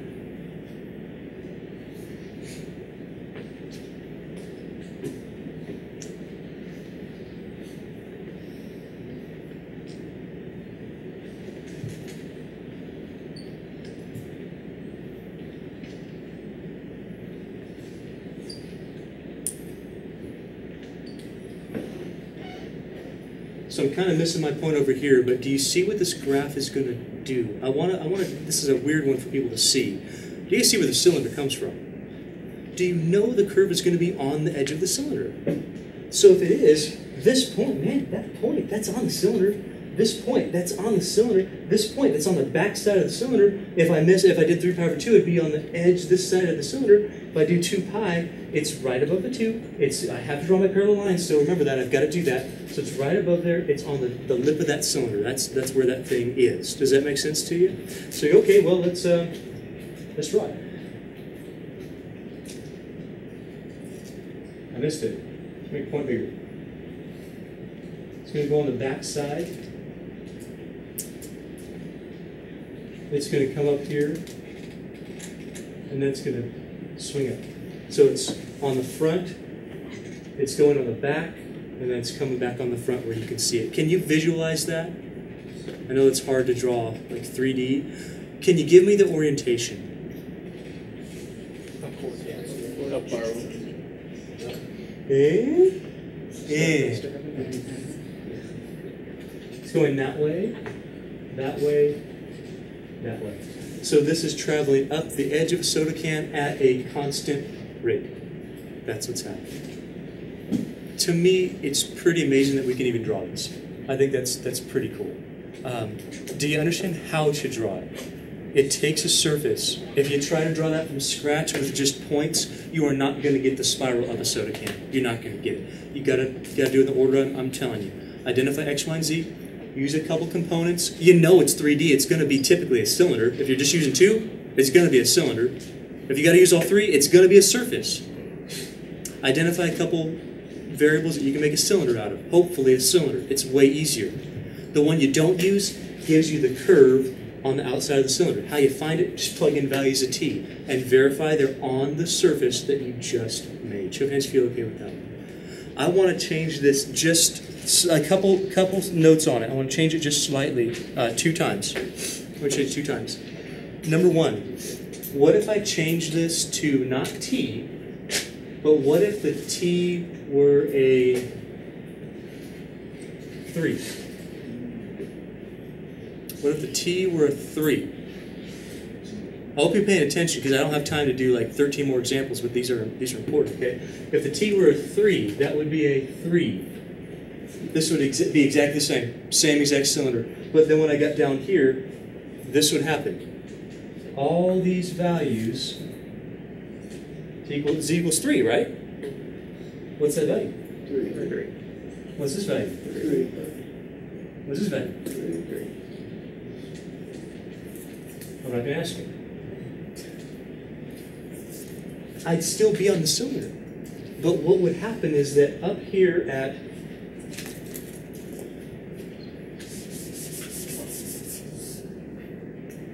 It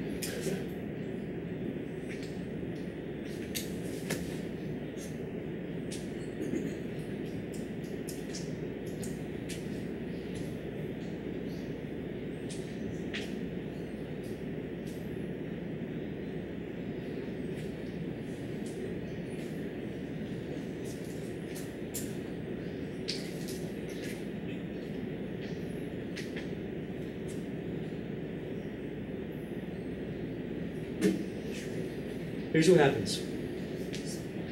If I restrict a component to like say z equals 3, then the height cannot change, which means that my points still here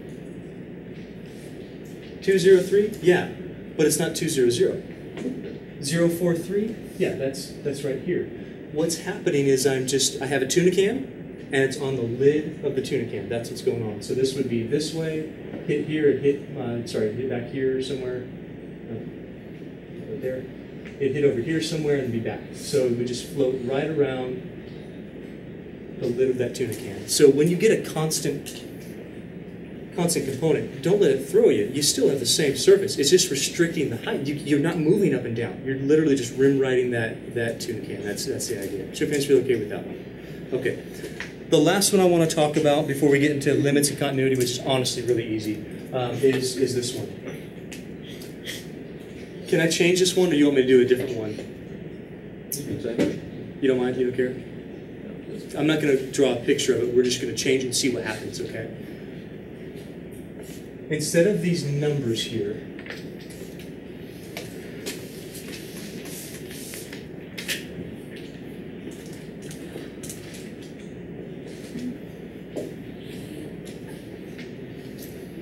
do that?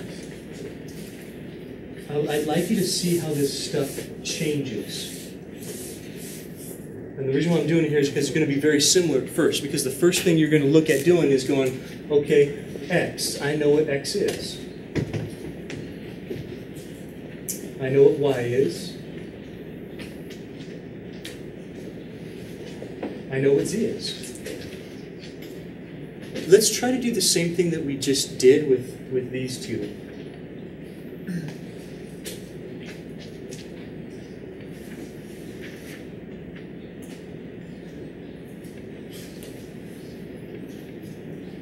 Okay, I want to see if you can make it that far. You guys can identify X, Y, and Z. Head nod, yes or no. Yes. And if you saw the sine and the cosine, go, oh, sine and cosine the first power, I love that. That's going to be the Pythagorean identity, and you are literally still going to do that. So we solve for cosine t, yeah, it's x over t. Solve for sine t, it's y over t. The only difference between this example and the one we just did was we had numbers here, and now those are variable. Listen, listen. If the numbers are variable, then instead of getting ellipse after ellipse after ellipse after ellipse, I hope you're listening. Instead of getting that ellipse after ellipse after ellipse, what I'm getting is this ellipse, and then the denominator grows. That's a bigger ellipse. And the denominator grows. That's a bigger ellipse. And the denominator grows. Oh my gosh, now I'm getting a surface. Do you guys see it? What type of surface? I'll show you how to find out.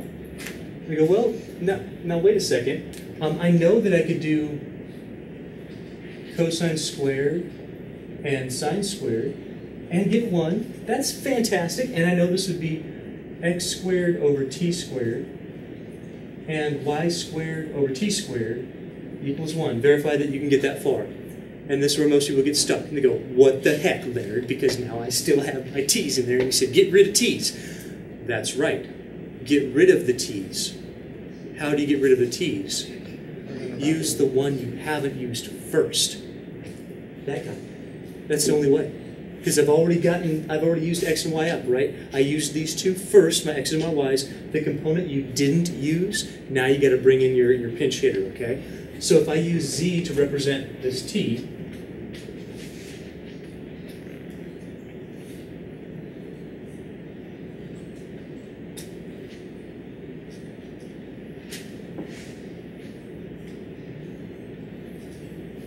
we get that. You guys are okay on getting that? Dude, that doesn't look so good. No, it doesn't. It doesn't look good at all. So try to put it into one of the formats that you actually understand. For instance, if I multiply both sides by z squared,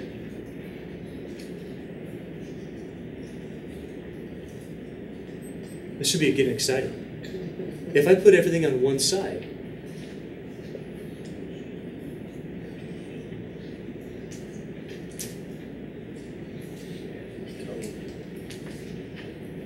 What? I mean, ¿qué? I'm learning Rosetta Stone. I think that means what in Spanish, doesn't it? You gotta go to Costa Rica, man. I gotta learn it. ¿Qué?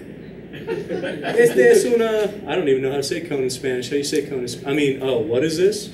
It's a, it's a cone. Think about think about this. This says um, this says cylinder where you're expanding. What's a cylinder where you're expanding? Well, it's probably either a hyperbol, uh, hyper, hy- what call those darn things?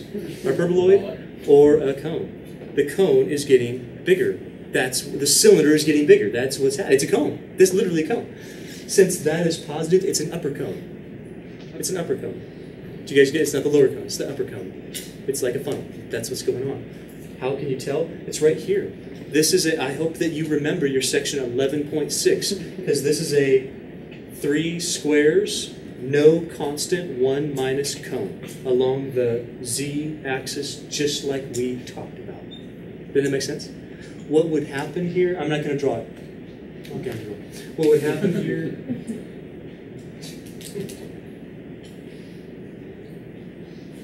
Here's your cone.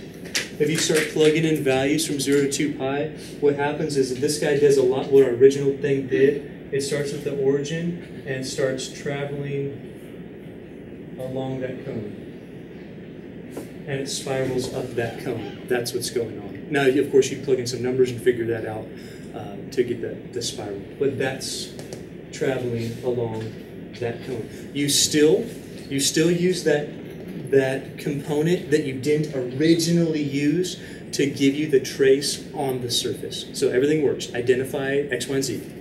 Use two of them at first to try to get yourself a cylinder. If you can't get a cylinder, use the other one to give yourself a surface. One that you know, like a cone. Then reuse that one to travel along that surface. Is this explained well enough for y'all? I'll tell you what, let's go ahead, let's take our break. Um, I want to talk to you for a second before you all do, after I pause this, and then we'll come back and do uh, limits continuity.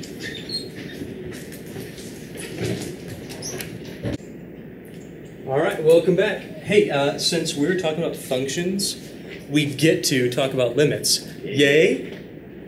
I can tell by your happy smiling faces that that's a big yay.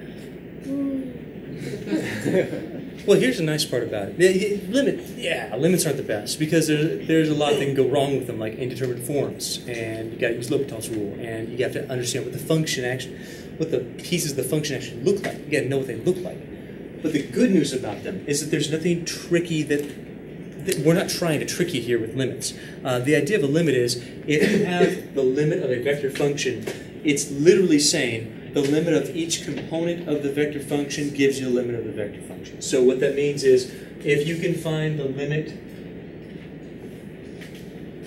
of f of t, the x component,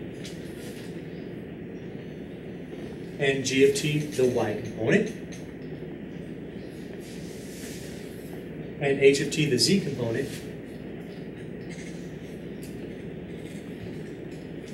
that will give you the limit of a vector function. Now I want to say a couple things about this. You can see it's incomplete. Firstly, it should probably go without saying, but I'm going to say it anyway. You have to go to this. You have to approach the same number for all three components. So if your limit of the vector function is approaching a, you got to let all these approach a.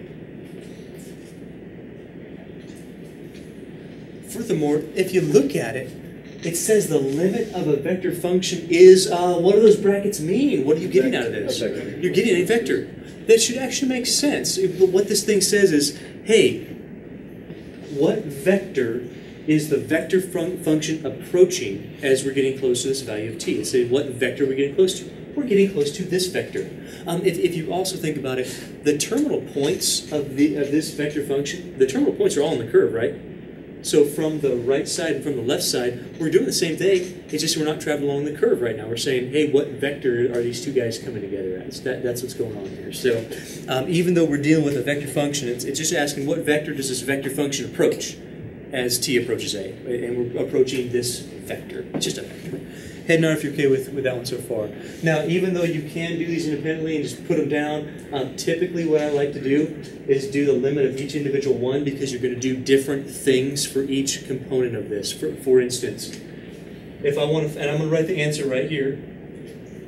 If I want to find the limit of this, verify it's a vector function for sure. It's got vector notation, it's got some t's in there, t's approaching a number, and if you were in my Calc 1 or Calc 2 class, you know the very first thing you do with limits every single time is plug the number in, man. That's the first thing you do, because dealing with continuity, if it's continuous, the limit has to exist. And it has to be the function of that, or value of the limit has to be the value of the function. So if we have something that's continuous, plug the number in. Works every time. Only place it doesn't work is when we're not continuous, and then you have some other tricks, things that you do. So I would find the limit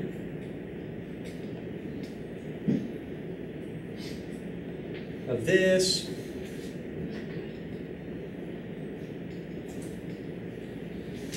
And this.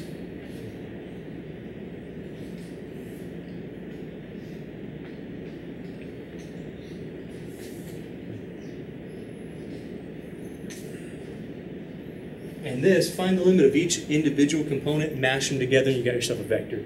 So let's see, is there anything tricky about this one? Can we just plug in 2 and be okay? Yes. How much do we get? Beautiful. Can we just plug in 2 and be okay? No. No, in this case you go, well, but you can do other things. You can say, if I get 0 over 0, I know for a fact that that is a removable discontinuity, otherwise known as a hole. which I can factor it and simplify out the problem.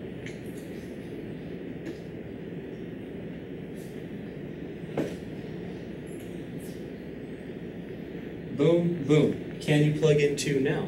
Yes. And how much do you get? Tell me something else you could have done with that problem since you get 0 over 0. Get the L'Hopital's rule. Would it work? Absolutely. You're going to get 2t over 1. Hey, plug in 2. You get 2 times 2 is 4. Do I care? No, I don't care at all. Factoring for me was easier here. I really don't care. I'm not here to teach you limits right now. I'm here to teach you that vector functions still have them, and you perform them the exact same way you always would. Plug in the number. If you can't, do other stuff. L'Hopital's is on the table. Uh, we're still dealing with curves, okay? All the factoring is on the table. How about this one? Am I going to have to do anything fancy with that one? Even though you get a fraction, there's no issue here. There's no discontinuity. You can't even get zero here. So plug the number in. We get two fifths. So what this, the only thing I, I care about here is that you're able to do limits of each piece individually, and then put them back together. The limit of the x component, y component, and z component create a vector. So you need to put it in vector format. That means that you have this with vector notation, or you have this.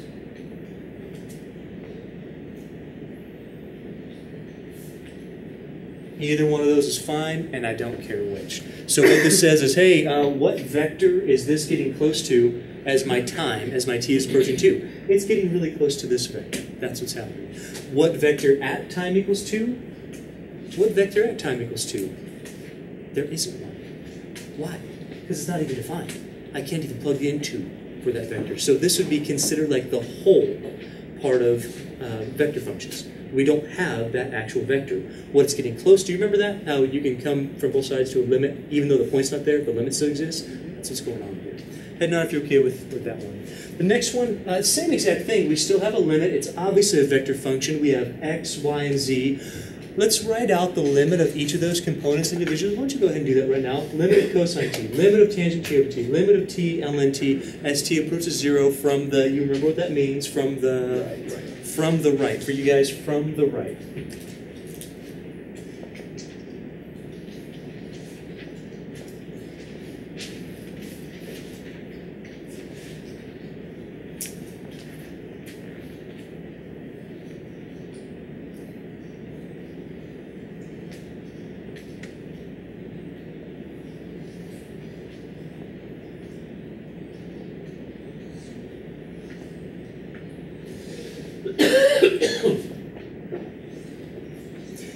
Tell me out there what's the limit of cosine t as t approaches zero from the right? If you don't remember, remember that with continuous functions, right and left don't even matter. Just plug the number in. Doesn't even matter. So since cosine t is continuous everywhere, uh, it has no asymptotes, no nothing, just plug in zero. What's the limit of cosine t as t approaches zero? One. So from the right, it was also equal one. You guys okay with that one? There's also a couple ideas like, hey, what's the limit of tangent t over t when t approaches zero from the right? And you go, wait a minute, uh, that's uh, that's zero over zero. L'Hopital's. Because L'Hopital's gives you stuff like secant, secant squared, and you go, okay, well, could you do it? Why not? You can do things like that. You can rely on some identities. Uh, I've proved this in Calc 1, but you can see this is equal to 1. Why? Because the limit of sine t over t as t approaches 0 is 1, and it's based on that. You can do things like this. I'm cheating because I'm not going to write the limit, which I would kill you guys for, but uh, you can do things like that and switch them. You go, hey, limit of sine t over t is 1. Cosine t, that's, that's, that's also 1. So 1 times 1, this limit is 1. So if you have that one, you can do L'Hopital. You can do a lot of stuff with this. Uh, all said and done, though, did, did you guys catch that? But a limit, limit. That limit, that's an identity. It's proved by the squeeze theorem in Calculus 1. And it's on the video if you want to go see it. But that is 1. So limit of sine t over t as t approaches 0 is 1. This is, as t approaches 0, 1 over 1. 1 times 1 is 1. Now this one, that's a nasty piece of fun right there. Because you go, that's, um, uh, oh crap. Yeah, how, how much is that when t approaches zero? Zero. How much is this as t approaches zero from the right? The only reason why we have from the right here. What is it? Negative infinity. Remember the ln. So zero times infinity, that's called an indeterminate form. And when we do things like that, you have to change one of these to a denominator. We go, okay, this is ln t over 1 over t. Then it becomes from 0 times infinity, it becomes infinity over infinity. That's the indeterminate form. Look it up from Calc 2. Uh, that's six, section 6.7, I believe. So look that up for indeterminate forms. After you change to an indeterminate form, so, so from an indeterminate form, you should get 0 over 0 or like this, infinity over infinity. Anytime you have 0 over 0 or infinity over infinity and you can't factor, and you don't have identities, that's when you have to use L'Hopital's rule. So you use L'Hopital's rule here.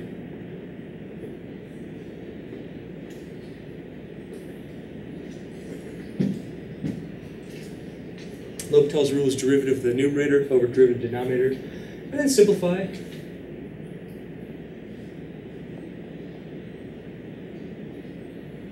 And plug it in. Then plug it in. So don't forget L'Hopital's rule. Don't forget that we can do things with indeterminate forms. You just can't bake baking, begging, praying, begging, both. Okay, look. Please don't do things like this. I'm begging you. I'm beg. Hey, zero times infinity is zero. Yay! it causes me to drink at night. Please don't do that because sometimes it does and sometimes it doesn't, and that's and you don't you won't know when. Please don't do things like zero over zero equals zero, or it sometimes does. Sometimes equals one. You you have to go through the motions. You actually have to do the limit. Show of hands feel okay with, with these ones. If you are struggling with this, you can see me outside of class. I'll explain indeterminate forms to you all day long, or you can watch Calc 2 indeterminate forms. Uh, but that's what that one's going to be. All said and done, though, does it give you a specific vector? Yeah, write down what that vector is. What is it?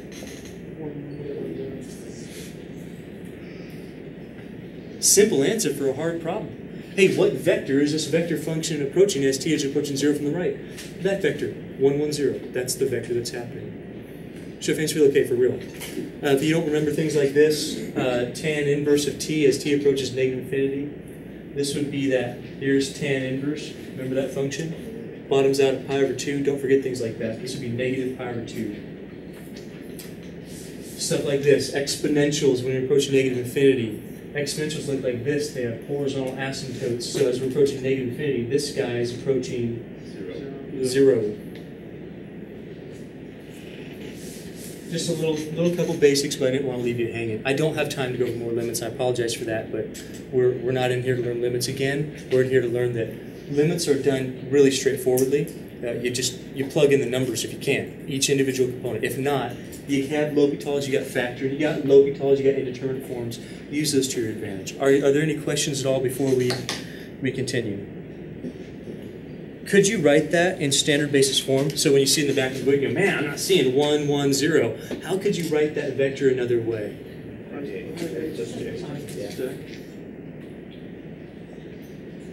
Yeah. So either way, that's fine. Now, last little thing in our section, kind of a nice, man, nice little thing here. Continuity. It's it's pretty basic. Uh, here's what we know.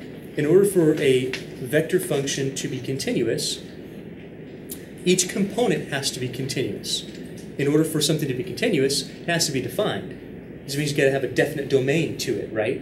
So, so basically, finding out where a vector function is continuous is finding the common domain. Like 99% of the time, that's all we do. So with continuity, just look for the domain, and if it's in the domain, it's going to be continuous on, on that domain. So let's find out some continuity. We'll practice just two of them and be done with this section. Is there anything new on Thursday? Uh? Yes? Is there anything new on Thursday? We'll talk about that later.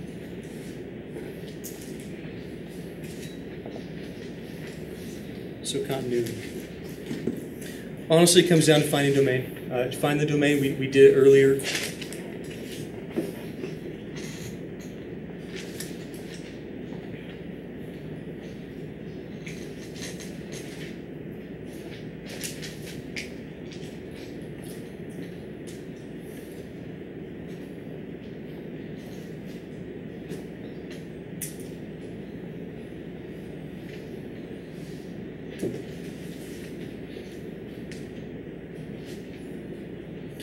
Firstly, um, vector function, yes, no?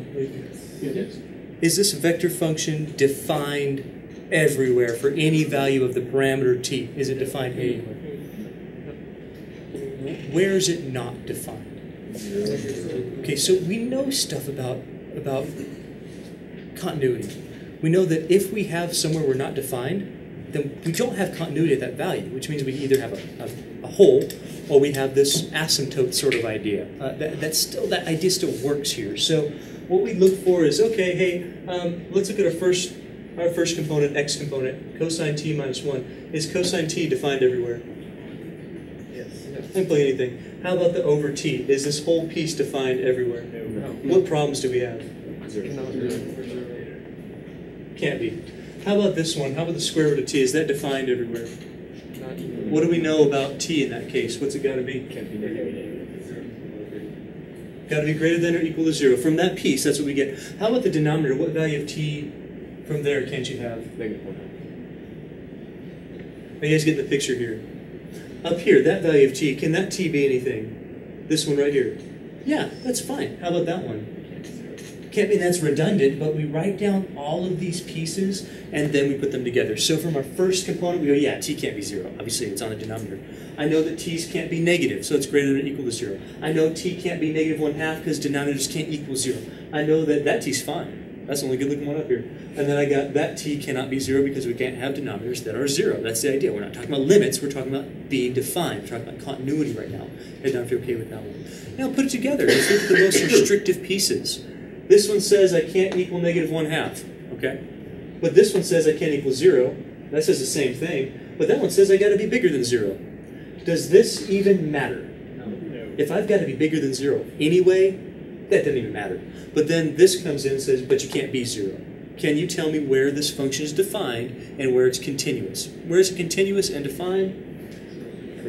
They have to all be defined the same, same, same t. It's called the common domain. So I know it's defined and continuous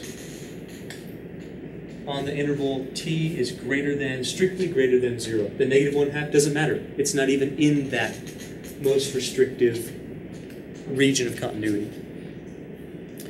With me? Yes, no. What do you think? Yes. yes. Okay. Let's do what? How about you try it? At least parts of it.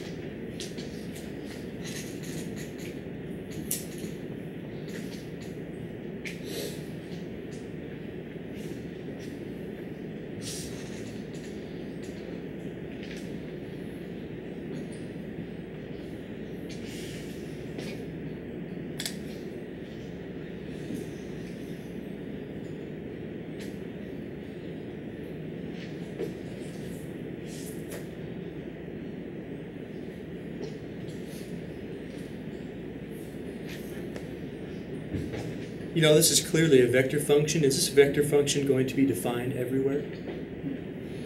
It- So therefore, is it going to be continuous everywhere? It's not defined in places, it can't be continuous places. So let's, let's take a look at it. I want you to look at at least the first component and the last component and write down some things about it.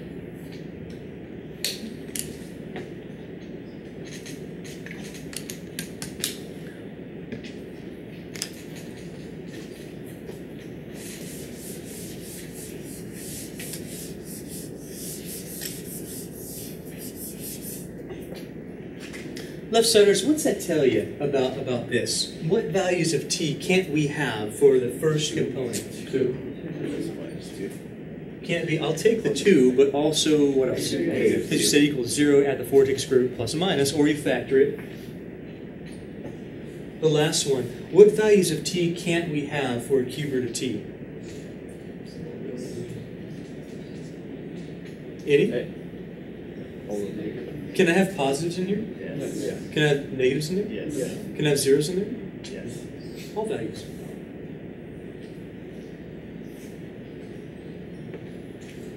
This is fine. So the cube root of t, you can put anything in there, which means it's continuous everywhere. There's no problem with the, think about the cube root of t. A cube root looks like this. Almost looks like the tan inverse. That's what it looks like. It's continuous, continuous everywhere. This one, that's going to have an asymptote at 2 and negative 2 because you can't factor that out. It's going to be asymptotic. Vertical asymptotes there. Don't know if you're me on that one. This one's weird. That one's weird. So you go sine inverse of t. Goodness. How high does sine get and how low does so, sine... Sorry. Uh, sine inverse works works this way. It takes sine, which goes negative pi over 2 to pi over 2 and negative 1 to 1. It says, okay, sine inverse flips those. So if I can get out negative 1 to 1 from sine, yeah, get out. I'm getting my inverses confused. If I can get out negative 1 to 1 for my sine, that's what I get to plug in for my sine inverse. So the, the only place it's even defined is if I get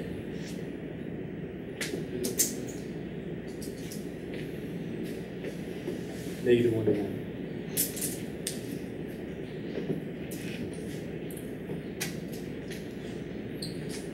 That make sense to you? Sine inverse, the inverse of, inverse of sine says you can plug in anything to sine, yes? Plug in anything to sine. But what can you get out of sine? You can only get out things from negative 1 to 1, right? So the inverse says you can only plug in things from negative 1 to 1. That's, that's all you can get out. Or sorry, all you can plug into sine inverse because it's all you can get out of sine. Now, what's relevant here? Is this relevant? That's not the most restrictive thing in the world, all right? It says you plug in anything. Is this relevant? Yeah. You better believe it. I can only plug in numbers from negative 1 to 1 here. That's it. That's all it's defined for. Is this relevant? No. Not with this one. So this says, I'm not even defined outside of this range. This doesn't matter. This doesn't matter because I can't even plug in numbers outside of negative 1 to 1. So we are continuous on that interval. Uh, one thing I do want to say this way though. Be sure that you can use interval notation appropriately. You need to know when to use brackets and when to use parentheses. The equals, you have brackets, not equals. No brackets, you use parentheses. Have I made this make sense for you, at least limits and continuity? That's the rundown. It's actually not, not the hardest thing in the world. Any comments, questions at all uh, about this stuff before we take a little pause? Not break, pause. You good?